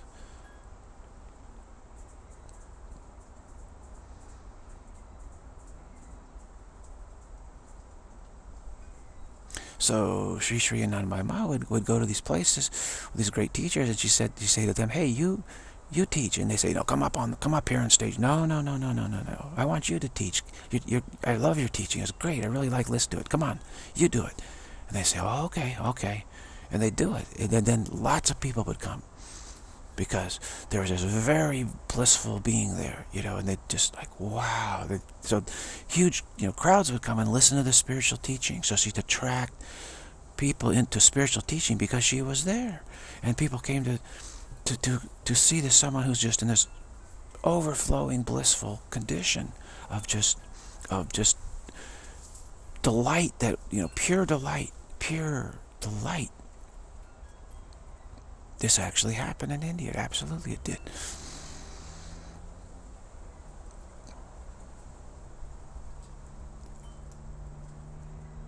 So she didn't say go go there and, and, and, say and the teacher said, "Oh my gosh, this is the great teacher," you know. So I gotta be quiet. She said, "No, no, no, keep teaching. I didn't come here to to jump in the limelight in your limelight, put you in the in my shadow. You know, you keep teaching. You keep teaching. I love what you're saying." And they said, no, no, I got to defer to you. You, you. you know way more than me. She says, oh, no, no, no, no, forget about that. Forget about what I do. I don't know anything, she'd say. I don't know anything. I'm not a teacher. I'm not a guru. I don't know anything. I just, but I love what you're saying. So just keep saying it, please. They say, but no, come on, come on. No, no, no. She's very insistent. No, I'm just a little child. I'm stupid. I don't know anything. How can I be, how can I be teaching anybody? What are you talking about? Uh, they kept trying to say, "Oh, you're the great teacher. You're, you're, you know, you're divinity incarnated. Come on, come on." No, no, no, no. And but sometimes they, she "Well, you know, I can't, I can't lie about it if you insist upon it. But still, I'm nobody's teacher or guru. You, you do the teaching.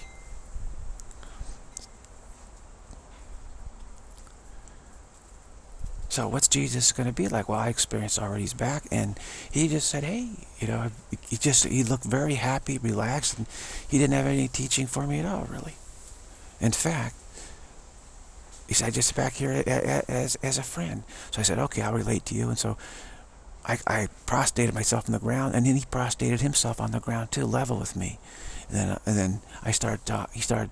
I started talking, and he and he, he wanted me to talk with him. You know, this is what I experienced. I said, "Why are you prostrating yourself on the ground to me? I'm trying to prostrate to you." He said, "No, no, no, no. I'm I'm, I'm level with you." You know, and and and he wasn't trying to teach me anything. That's why I can't tell you what what what, what did he have to teach me. He didn't have any anything to teach me. He was trying to get me to talk uh, to him, sort of. This is what I experienced. I, I, I was I've been kind of confused. Like what?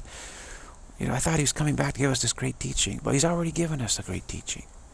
And the Holy Spirit has given us a great teaching. The Holy Spirit's job is, is to sh show us the truth. Uh, uh, so why do we have to keep casting Jesus in the role? You know, why not let, let him have a vacation?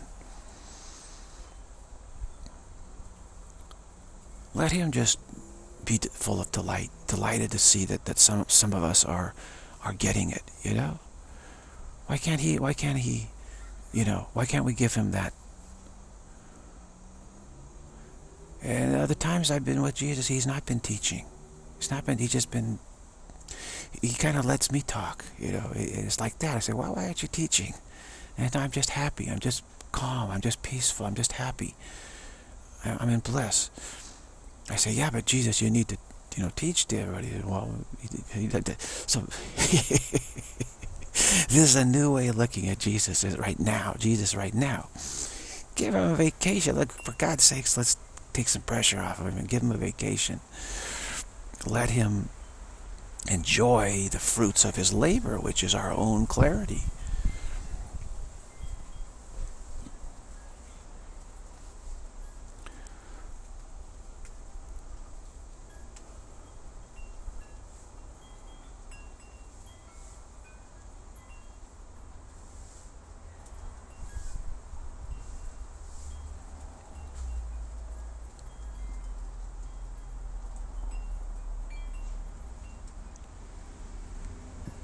Now, I dare say there's not a person on this planet hardly that that would be so audacious to say what I've just said.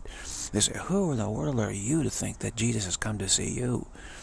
You know, you are absolute egomaniac or something. Well,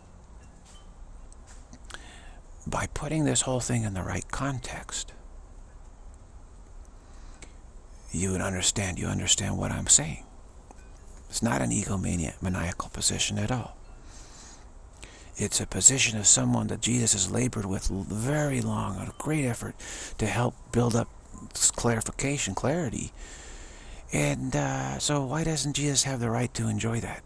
And why does he have to, we have to put him under the gun constantly? I might be willing to talk. I feel that what I've said here is, is sufficiently clear that Jesus would enjoy hearing it. There's no doubt about it. He, you know, it's kind of like, let's take a music teacher has taught this student for so long. And one day the, the teacher comes in and, and the student says, okay, teacher, you got to teach me some even more difficult stuff and more advanced. And I'm really here. The teacher says, hey, you know what? Do you mind if I just sit here and, and listen to you play and just enjoy your playing, you know? So can I not enjoy the fruits of, of, of all my teaching? Because I, I, like I like hearing beautiful music. You play really, really well. I've taught you really well. Why can't I just sit here and just listen? Why do I have to, you know, teach? Why can't I, can I, can you not just do a rehearsal and let, let me enjoy the fruits of my labor?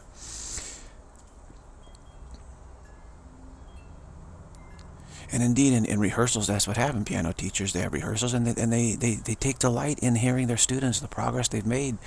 You know, they, so it's like that. It's like that.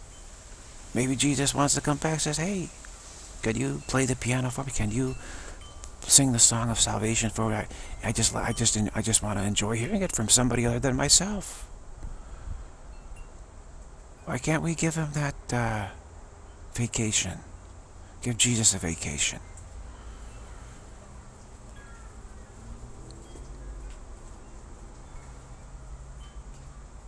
So again, this is, you know, supremely audacious, people would say. So who the heck do you think you are? I think that Jesus would want to listen to anything you had to say. well, I've been practicing for, you know, my entire life to to be to be able to say something. So, you know, who am I not to do it? This is pretty audacious to say all all my efforts have been completely misguided. Who who is so audacious to claim that? You know, that's the question. Only the matriarchal, patriarchal, egoic soul endangerment training complex would be so audacious and arrogant to say to suggest that. What they're really suggesting is Jesus hasn't been effective in training me in the slightest bit. So they're really condemning Jesus' teaching ability when they're saying this, aren't they? and they're con they're condemning the Holy Spirit's teaching ability ultimately, aren't they? So again, who who who is it that is arrogant? Arrogant. Uh, who is it that has the arrogance to condemn the Holy Spirit, really, and it, and its capacity to be effective? Who is that? What is that? That's obviously a different training program that's trying to pour out empathy fertilizer on this imaginary need to have a new creation, thinking that this will cause it to happen, which is nothing but sheer arrogance, actually.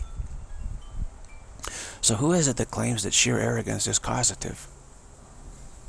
Must be a whim from spirit. So why should we prostrate ourselves to a whim?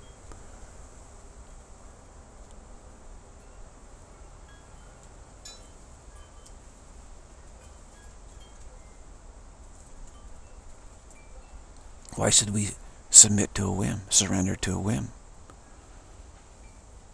What does that do? It doesn't do anything. It's just its aimlessness. It's not even experiencing at all. So maybe Jesus has taught me extremely well, and the Holy Spirit has taught me extremely well. Jesus wants to come and eh, experience, enjoy the fruits of his labor.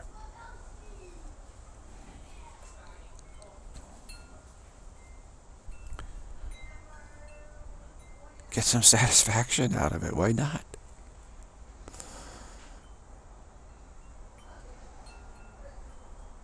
I mean, and again, this happened in India. Sri Sri Anandamayi Ma it was uh, perfect, uh, under, had never rejected the perfection of spirit that, that is, had never done so. So you can't get any better than that. And, and this perfection of spirit, knowing that this, this perfect understanding, or I don't know how you put it, but this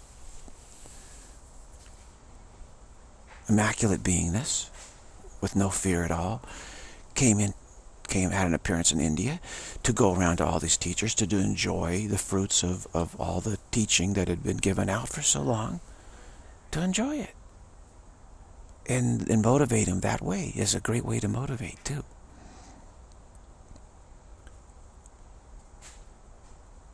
So it's already happened just recently. Why can't it happen again with Jesus See, this is a question, right? Why can't it happen again?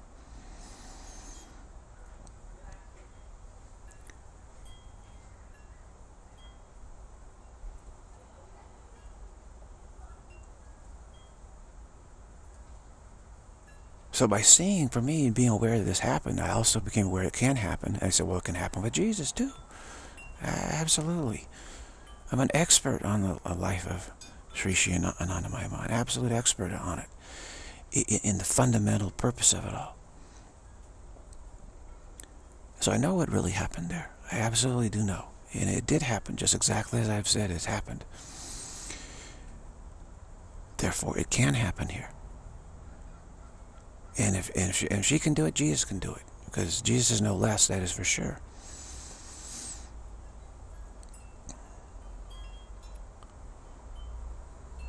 I wouldn't say Jesus is more either.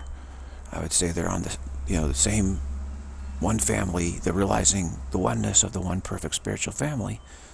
They both had that pure, perfect realization and acceptance. It's acceptance.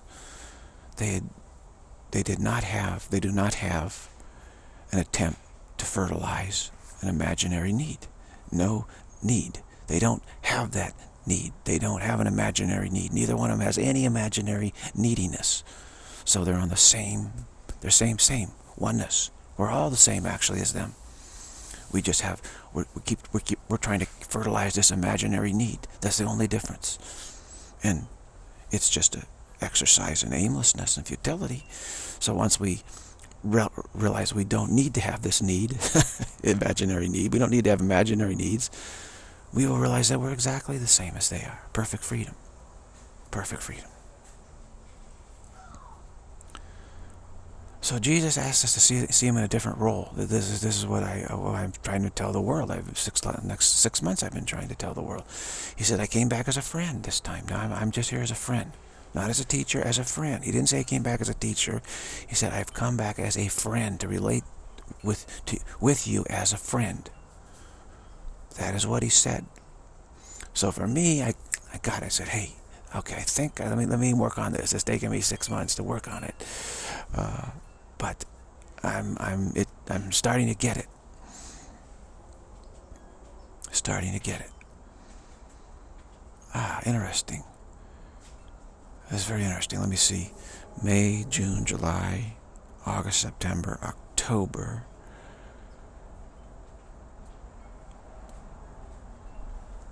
So it's been six months. Ah, it's very interesting. Hmm. Wow, this is very interesting. I saw his license plate yesterday. It said Maz 611. Maz, uh, refer on to my Ma. They call her a Ma. 611 is the opposite of 911. Right? It's, it's, flipped the 9 upside down at 611. What was 911? It, it was the beginning of this in, in, intense endangerment training, empathy, you know, empathy training for threat that that was the, the great uptick, uptick. So what's the opposite of that? Intense non-endangerment training. And referring it to Ananda Ma, meaning this is what's possible to as, as someone to come as a friend to, to hang out with and, and listen to those who are able to teach here in this super blissful presence.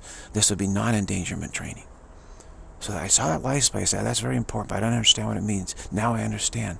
It means, and six months have passed since Jesus has come back to this world right? So already the six months. And the opposite of 9-11 would be, would be this train, non-endangerment training. So maybe this is time for this non-endangerment training to start here, which Jesus would be just hanging out with, with us as a friend. And he would start hanging out with those, those here who are able to, you know, sing the song of salvation he wouldn't do any teaching. He would just be hanging out. But this would attract large crowds because his, his happiness would just be you know, so intensely blissful. People want, would want to come. But he himself wouldn't do any teaching. No, he's just hanging out as a friend. This, this is very possible this is going to happen. This is probably what we've been preparing for.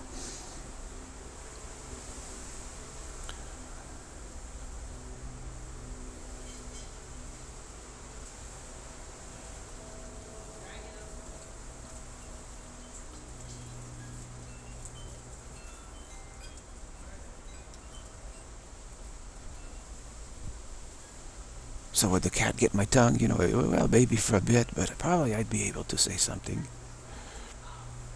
Just start talking see what comes up, and then just let it flow.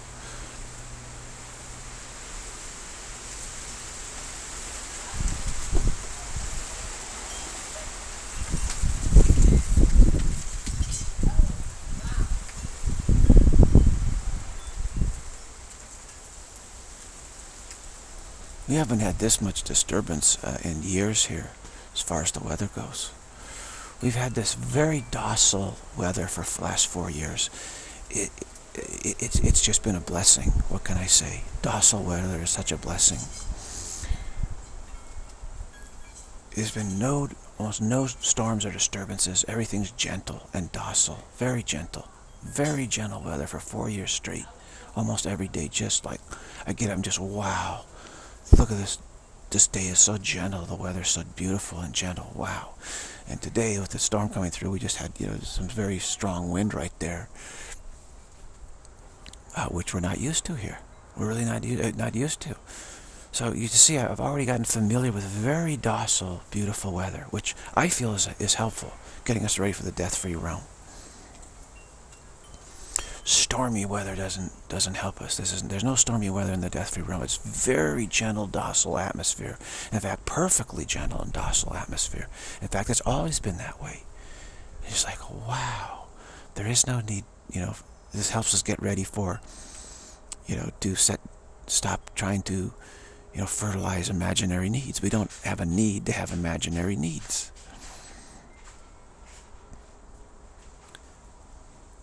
Now, putting myself in Jesus' shoes, if I could try to do that, would Jesus enjoy what's being said here? Absolutely. Absolutely, Jesus would, would be thrilled by it, actually. If I put myself in Jesus' shoes, he would be thrilled with, with hearing, you know, some other, someone else express this kind of clarity on the situation. Absolutely, he'd be thrilled. That's his whole goal. I mean, his goal is to teach us so that we, we have the same clarity he does. So to hear somebody speaking that, that is approaching that, you know, he'd just say, well, I was just, you know, he'd just be in tears probably.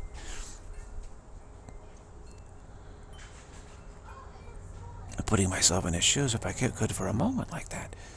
So I'm just saying, maybe this is possible.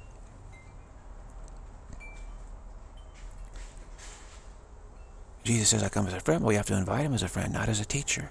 So I, I, I invite Jesus right now as a friend. Come, come on, you want to sit and hear me talk? Fine. I, I, I'd be thrilled for, for you to, to, to be here. I'd be happy to help have you, you know, just like a, a, someone who's been taught to be a virtuoso piano player, let the teacher just sit and enjoy the music for a while, you know? Now, of course, Jesus can play better, could play way better than I can, but why can't he at least enjoy some playing that is is very nice? You know, why not? Why do we have to say, hey, Jesus, you play the piano, you play piano? Jesus, ah, you know, I, I want to take a little break from that. You, I want to hear you play it. why not?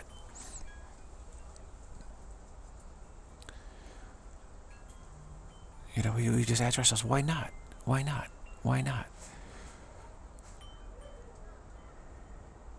And of course, in this thing, Jesus I came back as a friend, and he's asking the whole world, hey, and nobody stood up. I was the only one that raised my hand and said, okay, I'll do it.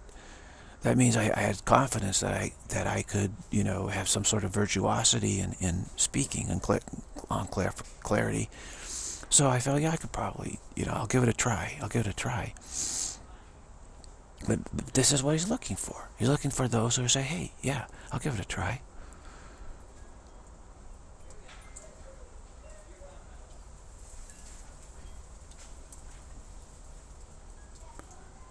So this is a very new perspective here. I just have to, you know, get used to this. And again, the world sees this as just, you know, ridiculously audacious. Who, who are you? But keep in mind that in a previous life, I was a musical virtuoso. So I'm used to kings, great industrialists, uh, aristocracy, asking me to play for them. And I did. I did play piano for them. So I've I played piano as a virtuoso for for all you know the the world heavyweights. I'm used to that. Say, oh, we just, we want to just hear you. You know, I say, oh, but you got all the money and the power. I say, oh, no, that's okay. We just, we, yeah, we're, but we're tired of, of being kings and queens. You know, can we just not just sit back and relax and enjoy? And can you not just play some music for us, and so we can just enjoy it? So, oh, but who am I to play for you? You know, I said, no, no, no, no, no, no. You, you know, we just, just see, see, see us as your friend, and you're playing for a friend. Okay, so they tried to put me at ease that way. I already have experience with this great deal of experience with this in, a, in my previous life. So they would try to put me at ease, saying, no, "Don't, don't worry about us. We're just like we're like you. We're just your friend. Be at ease. We just we're thrilled that you're here to play for us, and we're just going to enjoy it." So we'd sit down at the piano and you know, play up play up a storm, you know, and they they enjoyed it. They loved it. So they said, drop this role, you know, differential that you're just this peon and we're this mighty, you know, rulers of the Holy Roman Empire or the, you know, or these with these billionaire industrialists. Just, just drop, drop that whole social, because that's you'll interfere with your playing. We're just equal friends. We're just friends here. We're just friends. So please play for us. And you know, they talked me into it they all had pianos back then. Everybody had these really, you know, the rich people would have these super nice pianos. So I got to play all these super nice pianos. and uh, so I already have a lot of practice in this in this whole principle here. Which I said put me in a sort of a unique position that I had had had a you know leg up on this whole whole notion of Jesus coming back as a friend he'll say, no, no, no, just, just, just, just talk, talk for me. You know, I just want to hear it. I don't, you know, don't worry about the difference, you know, that you're seeing. It's, it's, it's just a temporary difference anyway. We're really just equal friends in spirit here. So don't worry about that. Just just talk. Just let me hear you talk. Yeah, that kind of thing. Different thing. I'm not playing the piano. I'm, I'm playing a spiritual song here.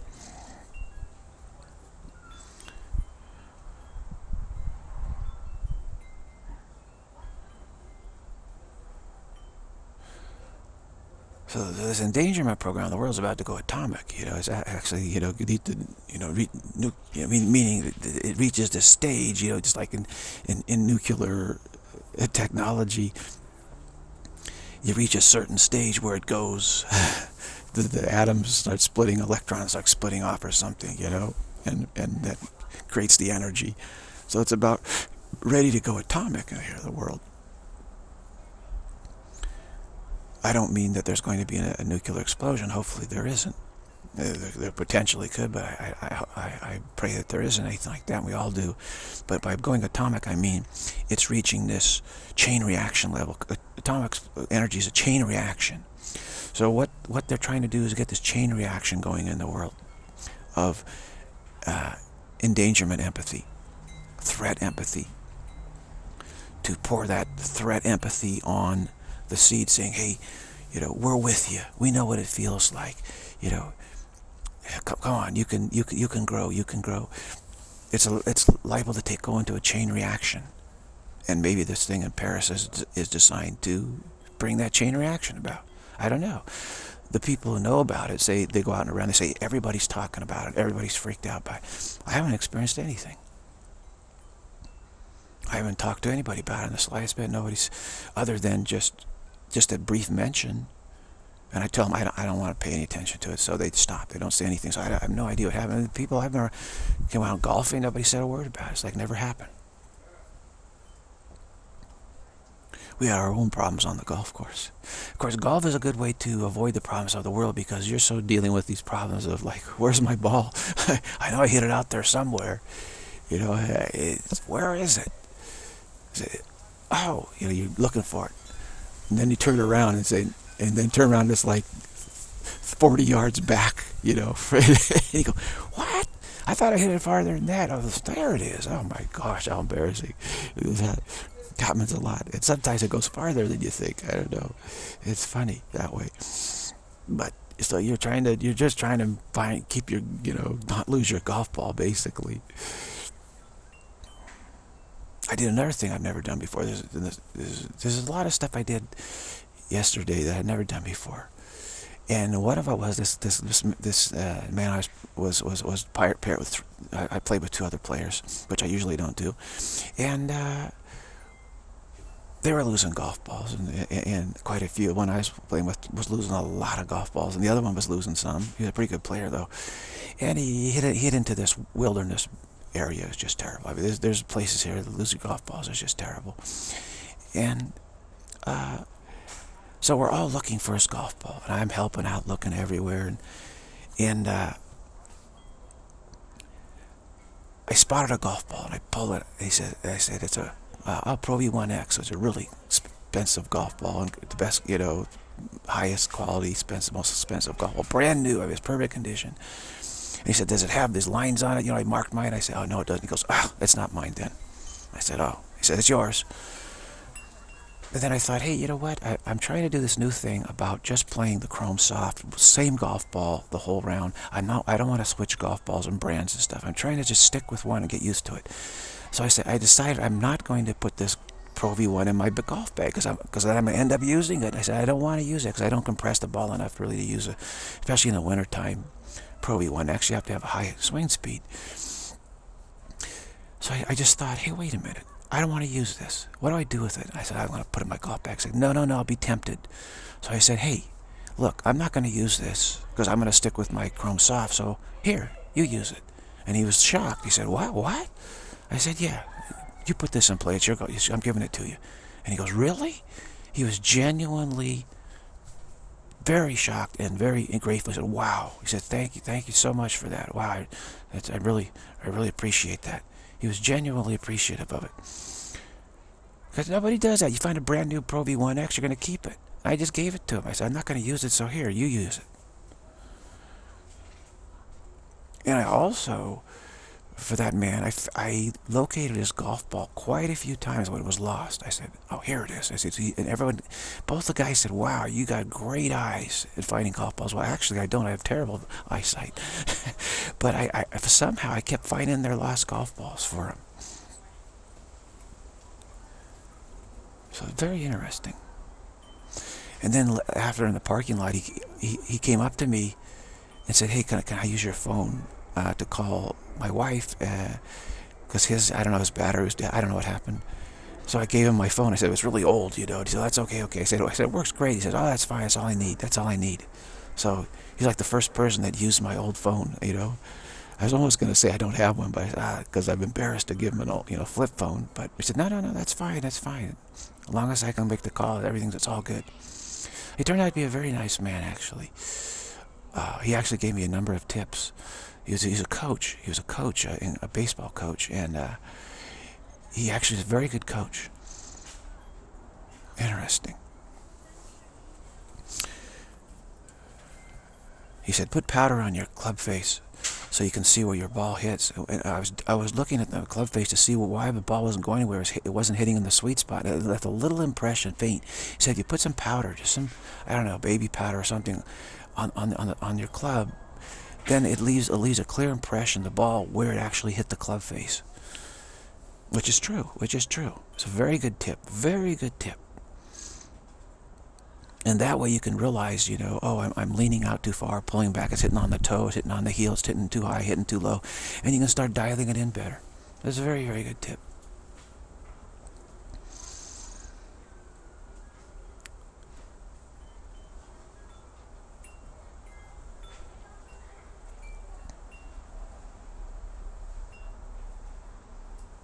So there's something about, hey, you know, I'm not using it. You use this. Even though it's really good.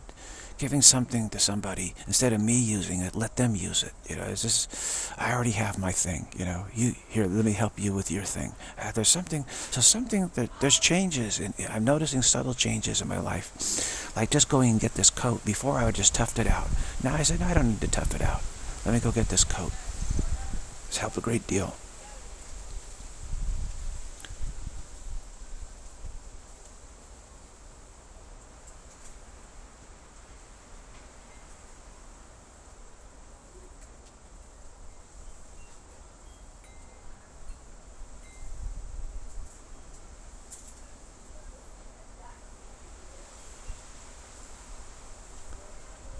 Yeah, this song Atomic keeps going through my head. That's a chain reaction. Doesn't know it means atomic means chain reaction, doesn't it? Absolutely it does. That means there's there's awareness in, in my being of a chain reaction is is now going to take place. And 9-11 caused a chain reaction, didn't it? Caused a severe cha chain reaction, terrible chain reaction. The world is completely changed in terms of the intensity of, of feeling threatened it, the threat, the feeling of threat now is, is way, way greater.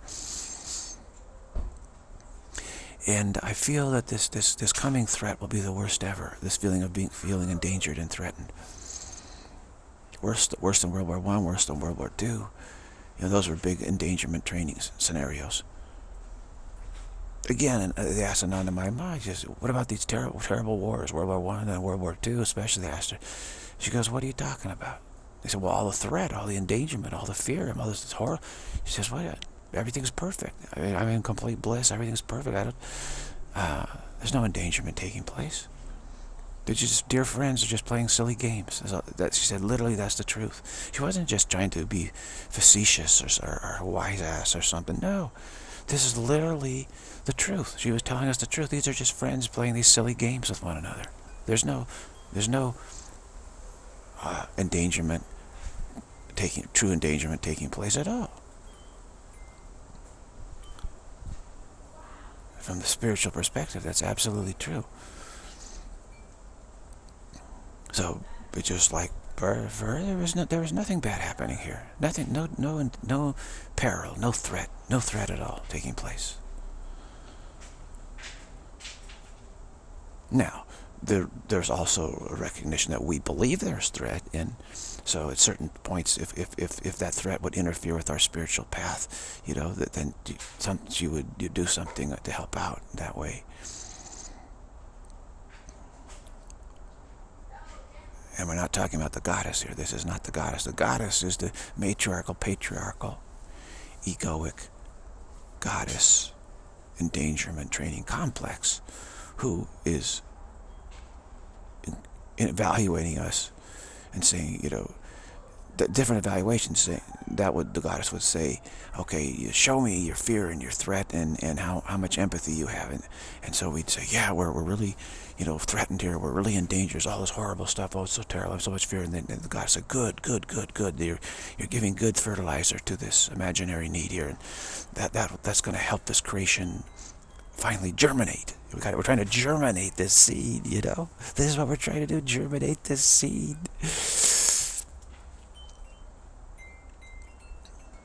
And I say, you know, you know, you know, you really know this. I'm just reassuring you, you do know this. you do know this. We all know this. We're trying to germinate the seed, but the seed doesn't germinate. It's the is the one seed that doesn't germinate. The idea that we can change the will of God, that seed does not germinate. It's just an image of a seed. It's just an image of a need.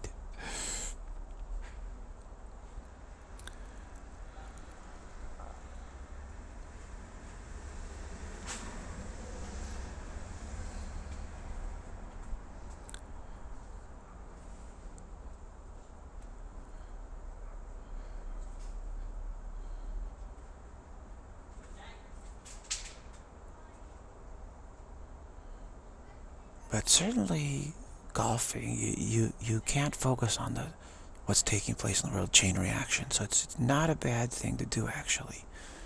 You just can't. You just really can't. You're trying to hit that ball. and I'm telling you, we struggle something terrible, all three of us. Even the good players struggled. I mean, this course just can, can get you. It can bite you real bad. And right now, I mean, it's still wet from the last rain we had, and and, it, and the fairways are real, real sh short. The grass is not lush because of the drought and the heat and the drought in the summer, and so you get these super thin lies on the fairway with soft, muddy dirt underneath. I mean, and it is just so difficult to hit to hit your iron shots of this. I mean, you want the ball to be sitting up on a nice carpet to hit hit good iron shots. It makes it very easy. So it's even better. It's better to just hit it in the rough there. But the problem is the rough is so thick now. You can't even find your ball. It's so thick. Good Lord, we, these people lost so many balls in the rough they just couldn't find them. You, so, you know, what do you do? You hit in the rough, it's too deep. You hit on the fairway, it's too thin. And on and on and on. And the greens were just very tricky. Super tricky because they'd, they'd aerated them recently and put all the sand on them. And so they look super slow. But the, the, the grass has grown back, but but not very much, and then they've rolled all the greens. So the greens look real slow, but they're actually super fast, super fast. So I was rolling the ball by like eight feet, you know, on, on these, I'd have like a 12 foot putt, I roll it by eight feet. I said, what in the world's going on? It looks real slow, but it's like ice like glass, you know, wow. So we all just had terribly difficult times trying to get the speed right. I couldn't get it right. Because what you're seeing, what you're seeing, your eyes are seeing is, is, is fooling you. Looks like a slow, slow green. So they weren't. I had, I had a ridiculous time putting on this one hole. Just crazy. Super steep slope. I ran the ball by like 10 feet on my lag putt, and then I, I had to hit it hard, come back up, and I ran it by six feet up the hill, and then I hit it down. I missed again downhill, and it trickled back downhill. Then I hit it back uphill, and it lipped out, and then I hit it again, and, and, it, and it didn't wouldn't go in again because it was a side hill. I don't know how many putts I took. One, two, three, four. I think I took like six putts or something from like starting from 25 feet away. Six putts. It was crazy. I don't think I, I can't remember the last time I did that. Because the, the hole is just in this terribly difficult place. you had to hit it easy, or, or it would go past. If you hit it easy, it, it, it wouldn't take the line. So you had to hit it firm, but if you missed it, it would go really far past. This is the problem. You have to hit it firm because the the punch marks are still there, and it'll, if you hit it if you hit it easy, it'll wobble. But so you have to hit it firm. But if you hit it, if you miss it, poof, then it rolls way past. So this is the the dilemma that that we had. We had a dilemma there. it's a make or miss league. You know, I mean, you, if you if you miss it, you're in trouble. Fortunately, I made quite a few, but I also missed some that caused problems. And this is just a, a nice parallel to the world, right? Right? I mean, we got we got to make it here, you know. So we got to be firm. Otherwise, uh, we can't be wobbly in what we do here. Otherwise, we'll miss it. So we got to be firm. We got to drill it right in the middle. We got to really hit hit it hit it the right notes here. Otherwise, you know, then we'll have trouble so what we're trying to do is here is hit the right notes, get the right orientation here. We got we got we can't miss this one. This is one putt we can't miss because there's this chain reaction going on. But I just wonder if if if if being in like a gated golf community or some place where you play golf every day, it does take your mind off the world's troubles. There is no question about that.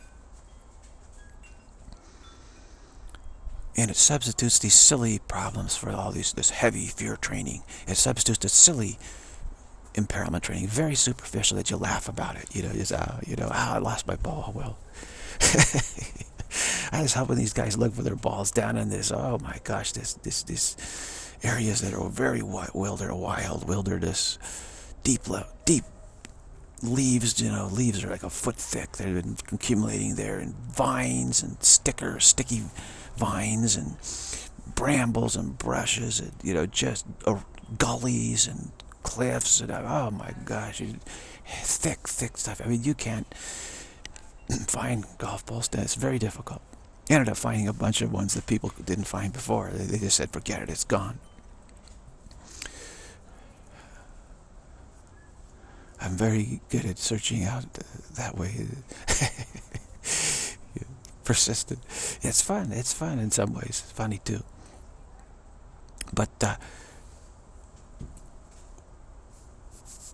we don't want to get, you know, real stuck in this chain reaction. So these are superficial troubles on the golf course. Superficial, and, and we know it. See, there's an awareness of that. Oh, I hit it terrible. Oh, that's okay. You know, we understand. Yeah, but I'm in trouble now. Oh, yeah, okay, it's not a big deal. Just golf.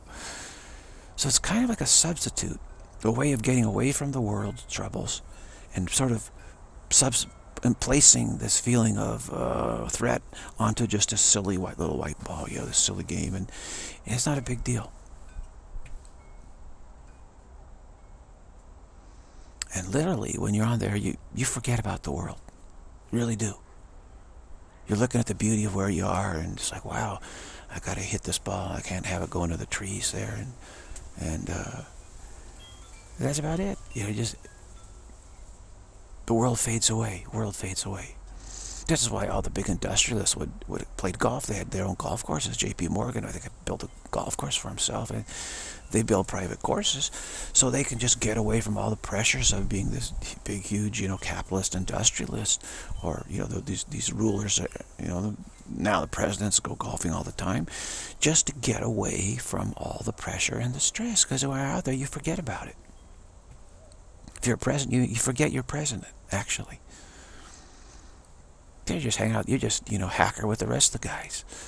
Uh, whoever's out there with you. And, uh, so you forget about it. I, I, I know who I am as far as what my role, social role is. I don't even know.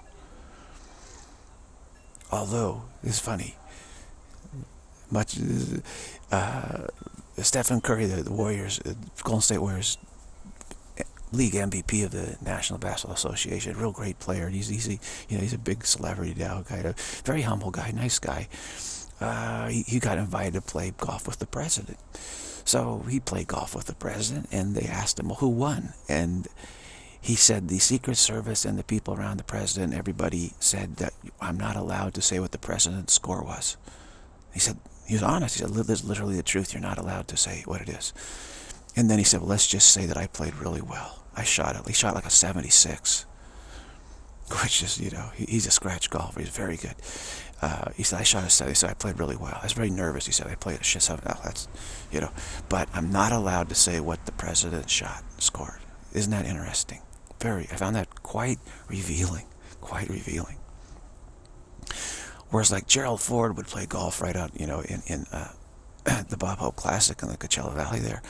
And uh, everybody could see what he's shot because he's right out there playing, you know, in the Open with everybody. And he was a terrible golfer. But he said, yeah, I'm terrible at it.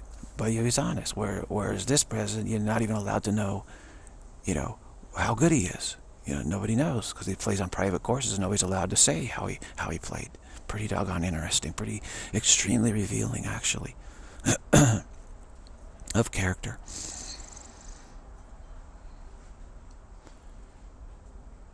What did I shoot yesterday? 98.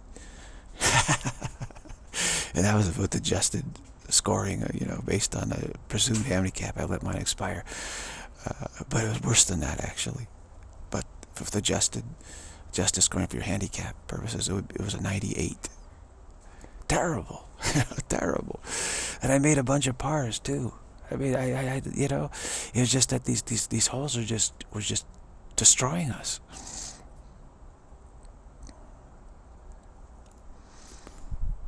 But yeah, shot terrible, terrible. I said, next time we're going to get the course. This time it got us. Next time we're going to get it. That is for sure. It, it, it, it, will. I won't, I won't do that bad again because I wasn't, I couldn't hit the ball off the tee. It was ridiculous. There's a lot of, so, this is all this nice, nice shop talk here as we're cooling down from this tremendous shift in perspective here about Jesus, right? So, oh yeah, we, oh, we, oh yeah, I remember what we were talking about. Uh, this is this is a very intense shift of perspective. So we're talking a little golf. It's it's it's good to talk. You know, get your mind off of. It really does. You talk golf, you get your mind off the world. You know, it's just like, oh yeah, I, that putt. You know, I couldn't I couldn't read it right. You know, it just, and you forget all about all these. You know, terrible endangerment of the world. You know, we're, we're dying, climate change, we're all going doomed. We're all doomed. You know, we're doomed. Coronal mass ejection is going to doom us. The meteorites are going to doom us. The bank collapse is going to doom us. The you know, doom, doom, doom, doom, doom, doom, doom. And of course, this is a doom scenario we're in, so it may those may all happen, because this is a training program to empathize with the the potential doom of this imaginary seed need that we have, this imaginary seed, we think it's doomed to never germinate unless we empathize with it. And empathize with the fertilizer, the, which will cause it to germinate. So we don't want it to be doomed. So we're trying to empathize. What is it like to be doomed? You know, oh, it's terrible. Okay, we're really going to keep working on this for you. So all this doom could happen, you know, and more. But we're we're worried about this putt. You know, it's got a four foot putt for par. I got to make it. You know, it's wow. What if I miss it? If I miss it, then I have to hit another one. it, it, it, it, it's a transference thing, right? It's a displacement transfer in a positive way. In a positive way, actually. And everyone's in the same boat. I mean, there's a, there's a very good player. He was struggling very badly.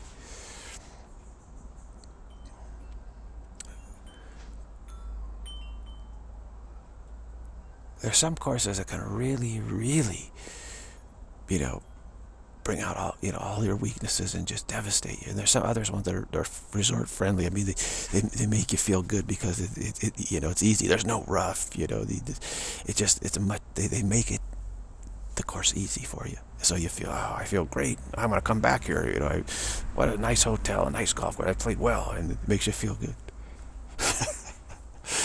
and not this one. this one makes you feel like uh, you you can't play at all. And of course, you know the weather's cold. It's getting dark. You know, it's just difficult. All all things were difficult. We're under pressure to play fast. There's not enough light in the day now.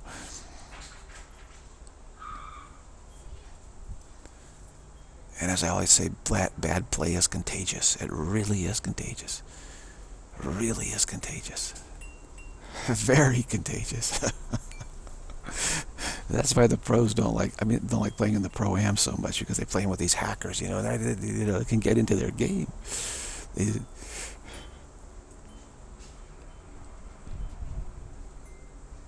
it's a funny thing. We played the front nine twice, because the back nine was too crowded. So we all said, we're going to get redemption. Playing the second time, the same holes. We're going to get, what happens? We played it, we played it worse. The funny thing is, the guys were hitting the same bad shots in the exact same place. They said, my God, I, said, I hit the drive, this, I, this is the same place I hit the drive in the first time around. Terrible. And then the other shot out of bounds in the same place. You know, it's like the same stuff happened as before. Hilarious. Absolutely hilarious.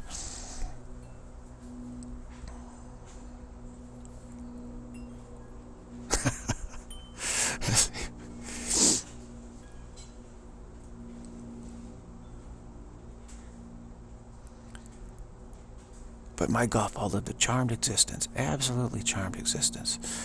I mean, it hit this rock wall, ricocheted back really far, and I got up there and it was just like a foot away from going into this muddy puddle, you know, had been lost. It was, it was still in some mud, but I was able to hit it out of there on the green. It just, it, the bounces it took just, you know, say, hey, I'm not, you're not going to lose me. You're not going to lose me. I'm a keeper. I'm a keeper. That's what it's saying. So, okay, I'll keep playing with these golf balls. You know, they're, they're a keeper. This one is a golf ball that didn't refuse to be lost. I put uh, uh, ink, felt pen ink on the golf ball to mark it, put a design on it to mark the golf ball so I know it's mine. And it's supposed to be, you know, permanent ink, you know. Well, at the end of the round, all that ink was worn off, completely worn off. it's completely, that's how much stress this ball went through, yet the ball was still in great, great condition. There's a little bit of green tinge to it, you know, a little, little, little bit of scuffing and stuff, but still, it's very playable still. That's a very impressive. Have to remark the golf ball.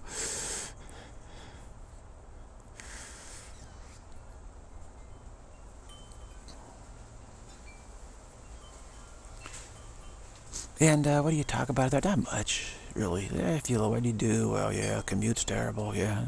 But usually it's, uh, did you see my, did you see my ball? Where'd it go? Is, it the right there?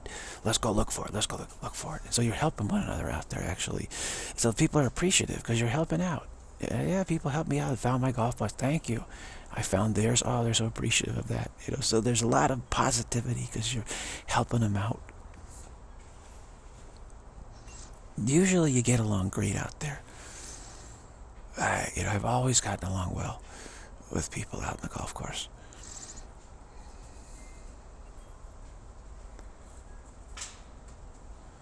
Because you kind of, you know, you empathize, you're, you're in it together here. And usually people struggle. Very rarely do you find someone that doesn't struggle out there. Very rarely. But that's fun. That's fun to play with them because they're they're very uh, reassuring to you. Say, oh, yeah, yeah, don't worry, that's okay. And they, and they help you out and they kind of help you. Oh, good, good shot there. You know, they, they're positive. They, they know that you're struggling.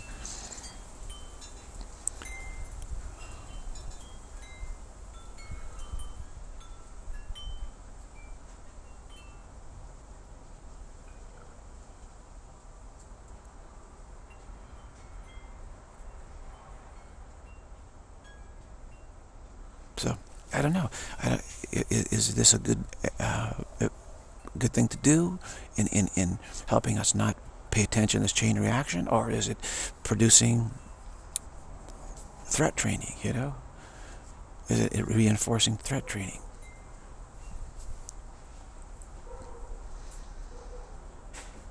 You look at it either way, or neither nor way.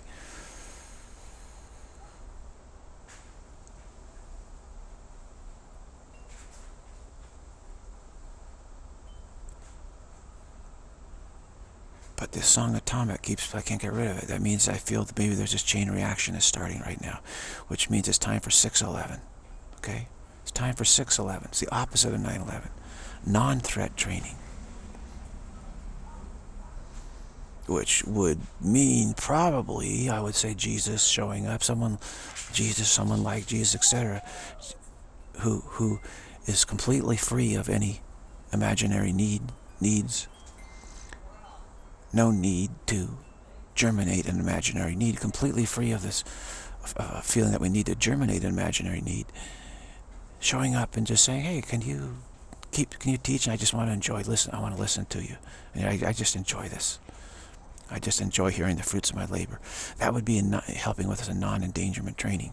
And then bringing up, you know, some stuff about it just, you know, Jesus wouldn't have to say anything. If he just was there confirming, just smile and say, yeah, I like what, what, what, what, what you're saying, then people would realize his teaching is accurate, you know. So he would teach in that way, just by confirming without even necessarily saying anything. Because I can certainly say, you know, anything that needs to be said, not troubled by that. Or if it's not quite right, he might say, well, it's, you know, it's not quite like that. It's, you know, maybe there's a different way of looking at it. And, I and you know, might say, well, is it like this? Say, yeah, you know, that's possible. 9, uh, 611 training. Time for 611, uh, 611 training instead of 911 training.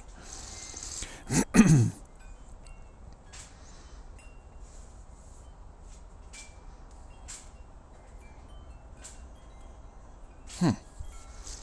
Yeah. 611 training.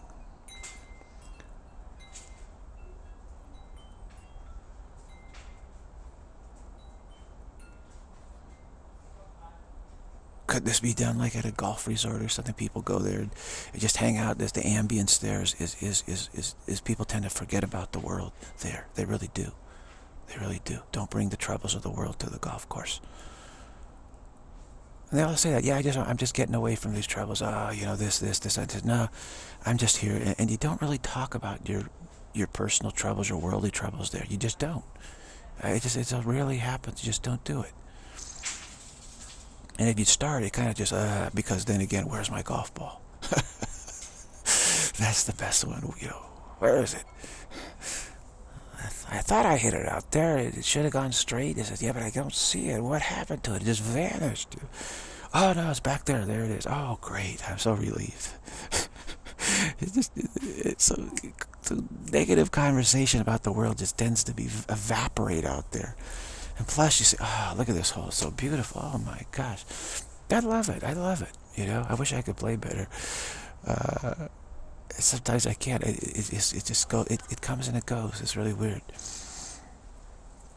Sometimes you can hit your iron, sometimes you can't. Yeah, I can't. I can't explain it. It's, it's just your body gets tired. You know, your balance is off. So there's various factors that change. Your body's always changing the way it feels. Actually, the strength and everything.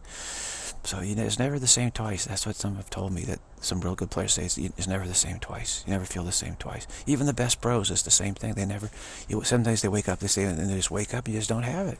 And say, I can't explain it. Other days you wake up and you just play great. So, just have to accept that and just use it for the purpose it is. Uh, so, again, I don't know what's going to happen, and, and, and I'm just, just throwing this stuff out here. 611 training is the key to this video right here. That this is what I've expected would happen. And I'm just start, we're starting to now get some parameters here uh, uh, and, you know, feel our way into it. 611 training. Wow. Very cool. I need to at least be able to hit my driver better. I will. I will. I'm, I'm eager to get to get go back to my old club. Uh, I want to get out there and, and, and, and make sure I can at least, you know, do that. Come on. How are we doing here? 213. Great. 611 training.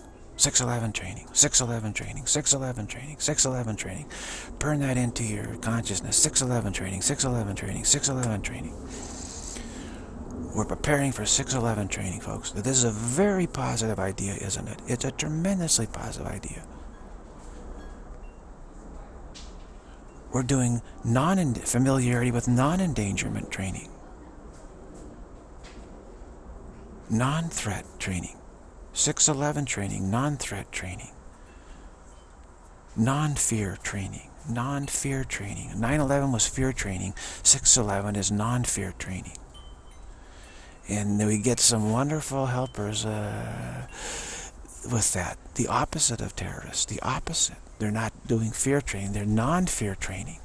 Like, I don't have any fear at all. In fact, I don't even know what fear is. Fear for me doesn't exist. For Jesus, fear does not exist at all. Because fear is just a tr imaginary training that we're putting ourselves under. It doesn't really exist at all. There is no threat it really at all. We cannot be threatened. What is real cannot be threatened. What is not real does not exist.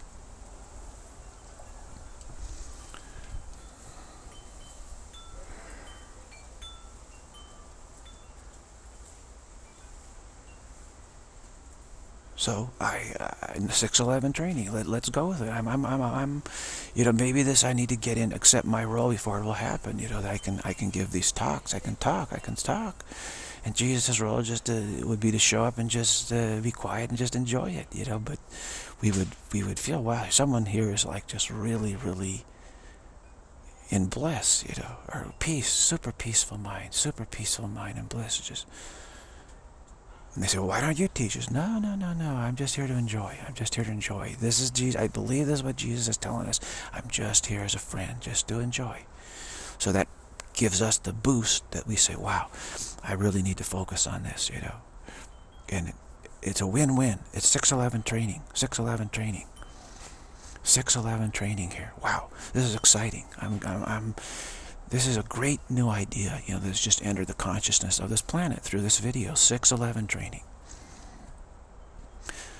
Now, Jesus doesn't have to be the only one that, that shows up. We could have a Ramana Maharshi show up too. You know, whoever could be, you know, in bliss, no fear, no threat. You know, they, they see clearly that nothing, nothing real is threatened and nothing unreal exists. They, they see this clearly. This is their experiencing more the merrier that show up. I invite I invite all everyone back who's who's who's dropped the imaginary need, you know, drop their imaginary need to create separately, separate creations, drop that need, liberated, you know.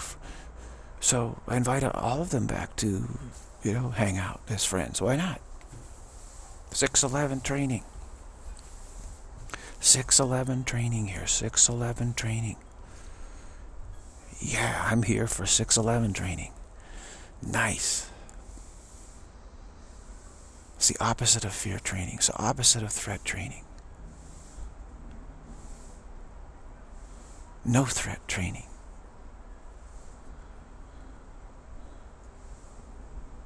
And maybe that golf ball is say, you can't lose me. You know, it was helping me train. He says, you just can't lose me. And I said, well, thank you. I'm, I'm so appreciative. I'm not even going to, to, to get another golf ball, another life. You know, I said, here, you want the, someone else need another life? I said, here, you have a good life. You have this one. It's a really good one. Said, thanks. It's grace of God right, right there working. But for me, I'm not going to get another golf ball. You know, this one's sticking with me. it's, uh, something like that. That's great.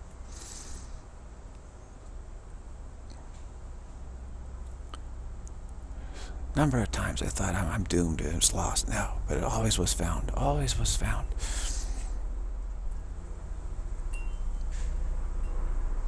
Even in even one hole, the, the, the my playing partner there was uh, the sun was right in our eyes, so I hit this shot. It's on a side hill, really difficult, uh, and it shot straight I across the fairway, right towards this cliff with, with full of full of brambles and trees and leaves and just you you know it's gone. It goes down there it's gone. Gone very steep. And he said yeah it went over straight over the fairway bouncing there and I said I think it might have gone over there. So we went over where we thought it was and couldn't find it anywhere and he said well it's gone. I said yeah it's gone. So I, so I dropped another ball provisional ball. I said okay a provisional, but I think it's, you know, and someone else, the other guy was saying, no, no, no, I didn't think it went in there. I think it went up further. I didn't, I don't think, I think it didn't come near me and I was there. But my playing partner was so sure it went across there and I couldn't see because the sun was right in my eyes. And he was, you know, shielding himself so he's supposed to see where my ball goes. So I just believed what he said. And then I hit this provisional and then we started going up the fairway, and then the, then this other guy says, "Look, look, look! I think that's your ball." And I went and looked. It was my ball. It was a safe, very safe place. So I got the wrong information, you know, thinking that I was lost. And I wasn't lost. I wasn't lost at all. I was actually in good position. Pretty interesting, huh?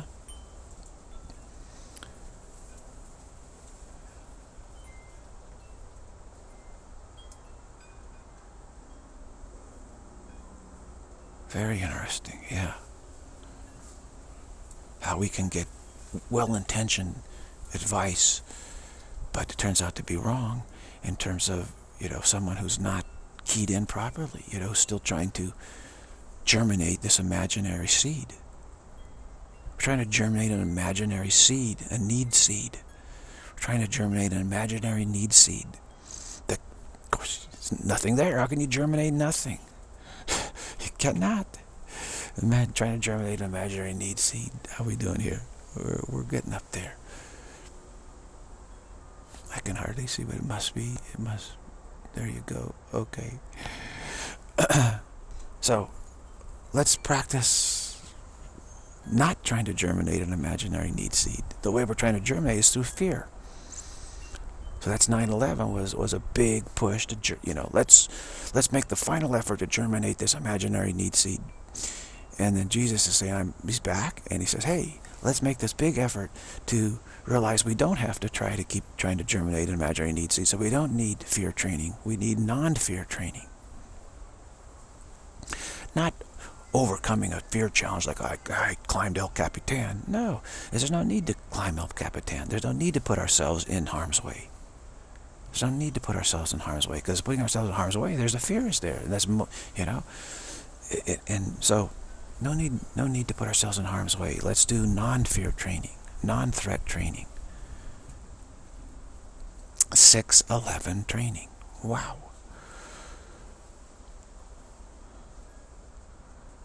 I just let this sink in. This is like changing the whole future, you know, the whole future just like, it's all rearranging itself somehow with, with what, well, what's, what's the objective then? What's the purpose here? 611 training is our purpose here.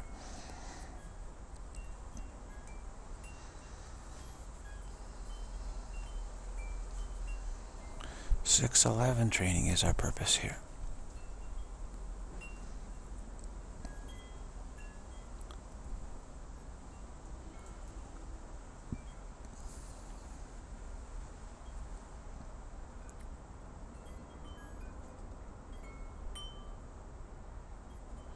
So whatever I imagine like meeting Jesus, I always say, God, stay away, stay away, wait, don't go, no, no, no, ready not ready and not ready. I always wonder, why am I doing that? Why am I imagining this? This is how I'd react. Well, maybe it's because I realize I have to, to, to say, speak something, you know, and he's just going to be quiet and listen. I, I'm supposed to talk. And I say, oh, no, no, stay. I can't do it, Jesus. This, this, who, who am I to, to say this? That's ridiculous. You know, I, I can't do that. That's way too difficult. You're asking way too much of me. But at this point, no, not really. It's just, it's easy. It's just we're trying to germinate an imaginary need seed through fear training, through fear empathy. And uh, it doesn't work. We can't fertilize an imaginary need seed to germinate. It will never germinate it. You can't germinate nothing. So we just need to, because of the continuity of fear, just turn it around and do non-fear training. Simple.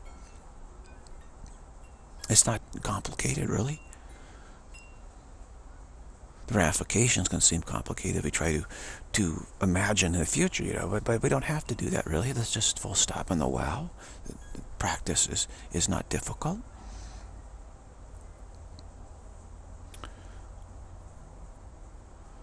So this, see, see, because I, I, I imagine, well, Jesus wants some real complex esoteric teaching. I said, oh boy, I don't understand how it all works, you know.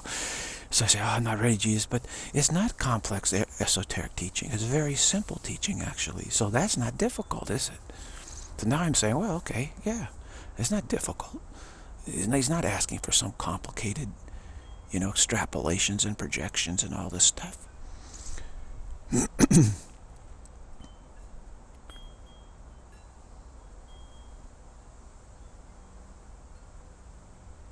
So I can just point out the basics. That's, that's easy. It's simple.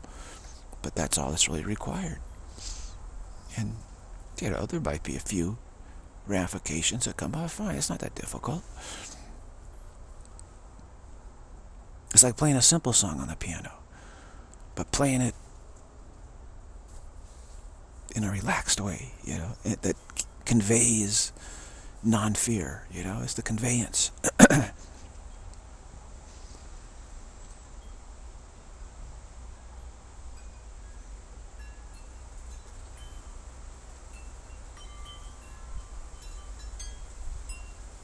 611 training.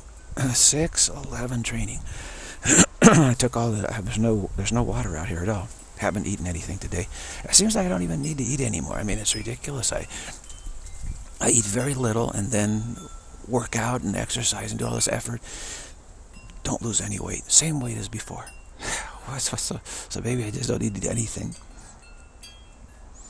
Of course, eating is, is a projection upon the body. It's a need that we project to help our imaginary uh, need seed germination empathy training program that we're engaged in. That's what we project these needs. So, yeah, I can empathize what it's like to, to need to feed yourself, to fertilize yourself. You don't fertilize yourself, you're going to be dead. Oh, that's horrible. So yeah, I need to fertilize this seed. I need so it'll germinate. You know, it's just not giving it enough worship and attention and and empathy. So if we just if we feel we just empathize with it enough, then we'll have the will to germinate it. It's kind of like that. We're trying to get the will to germinate it. So we're trying to empathize what it would be like if we, if we couldn't germinate it, how terrible it is. So we're trying to gain this empathy with suffering and, and, and the threat of, of, you know, no food. I'm going to starve to death. Oh, it's horrible. I don't want to starve this seed to death. So I'm so, we're trying to generate will through empathy, through suffering empathy, in order to germinate this non-existent need seed. Yeah.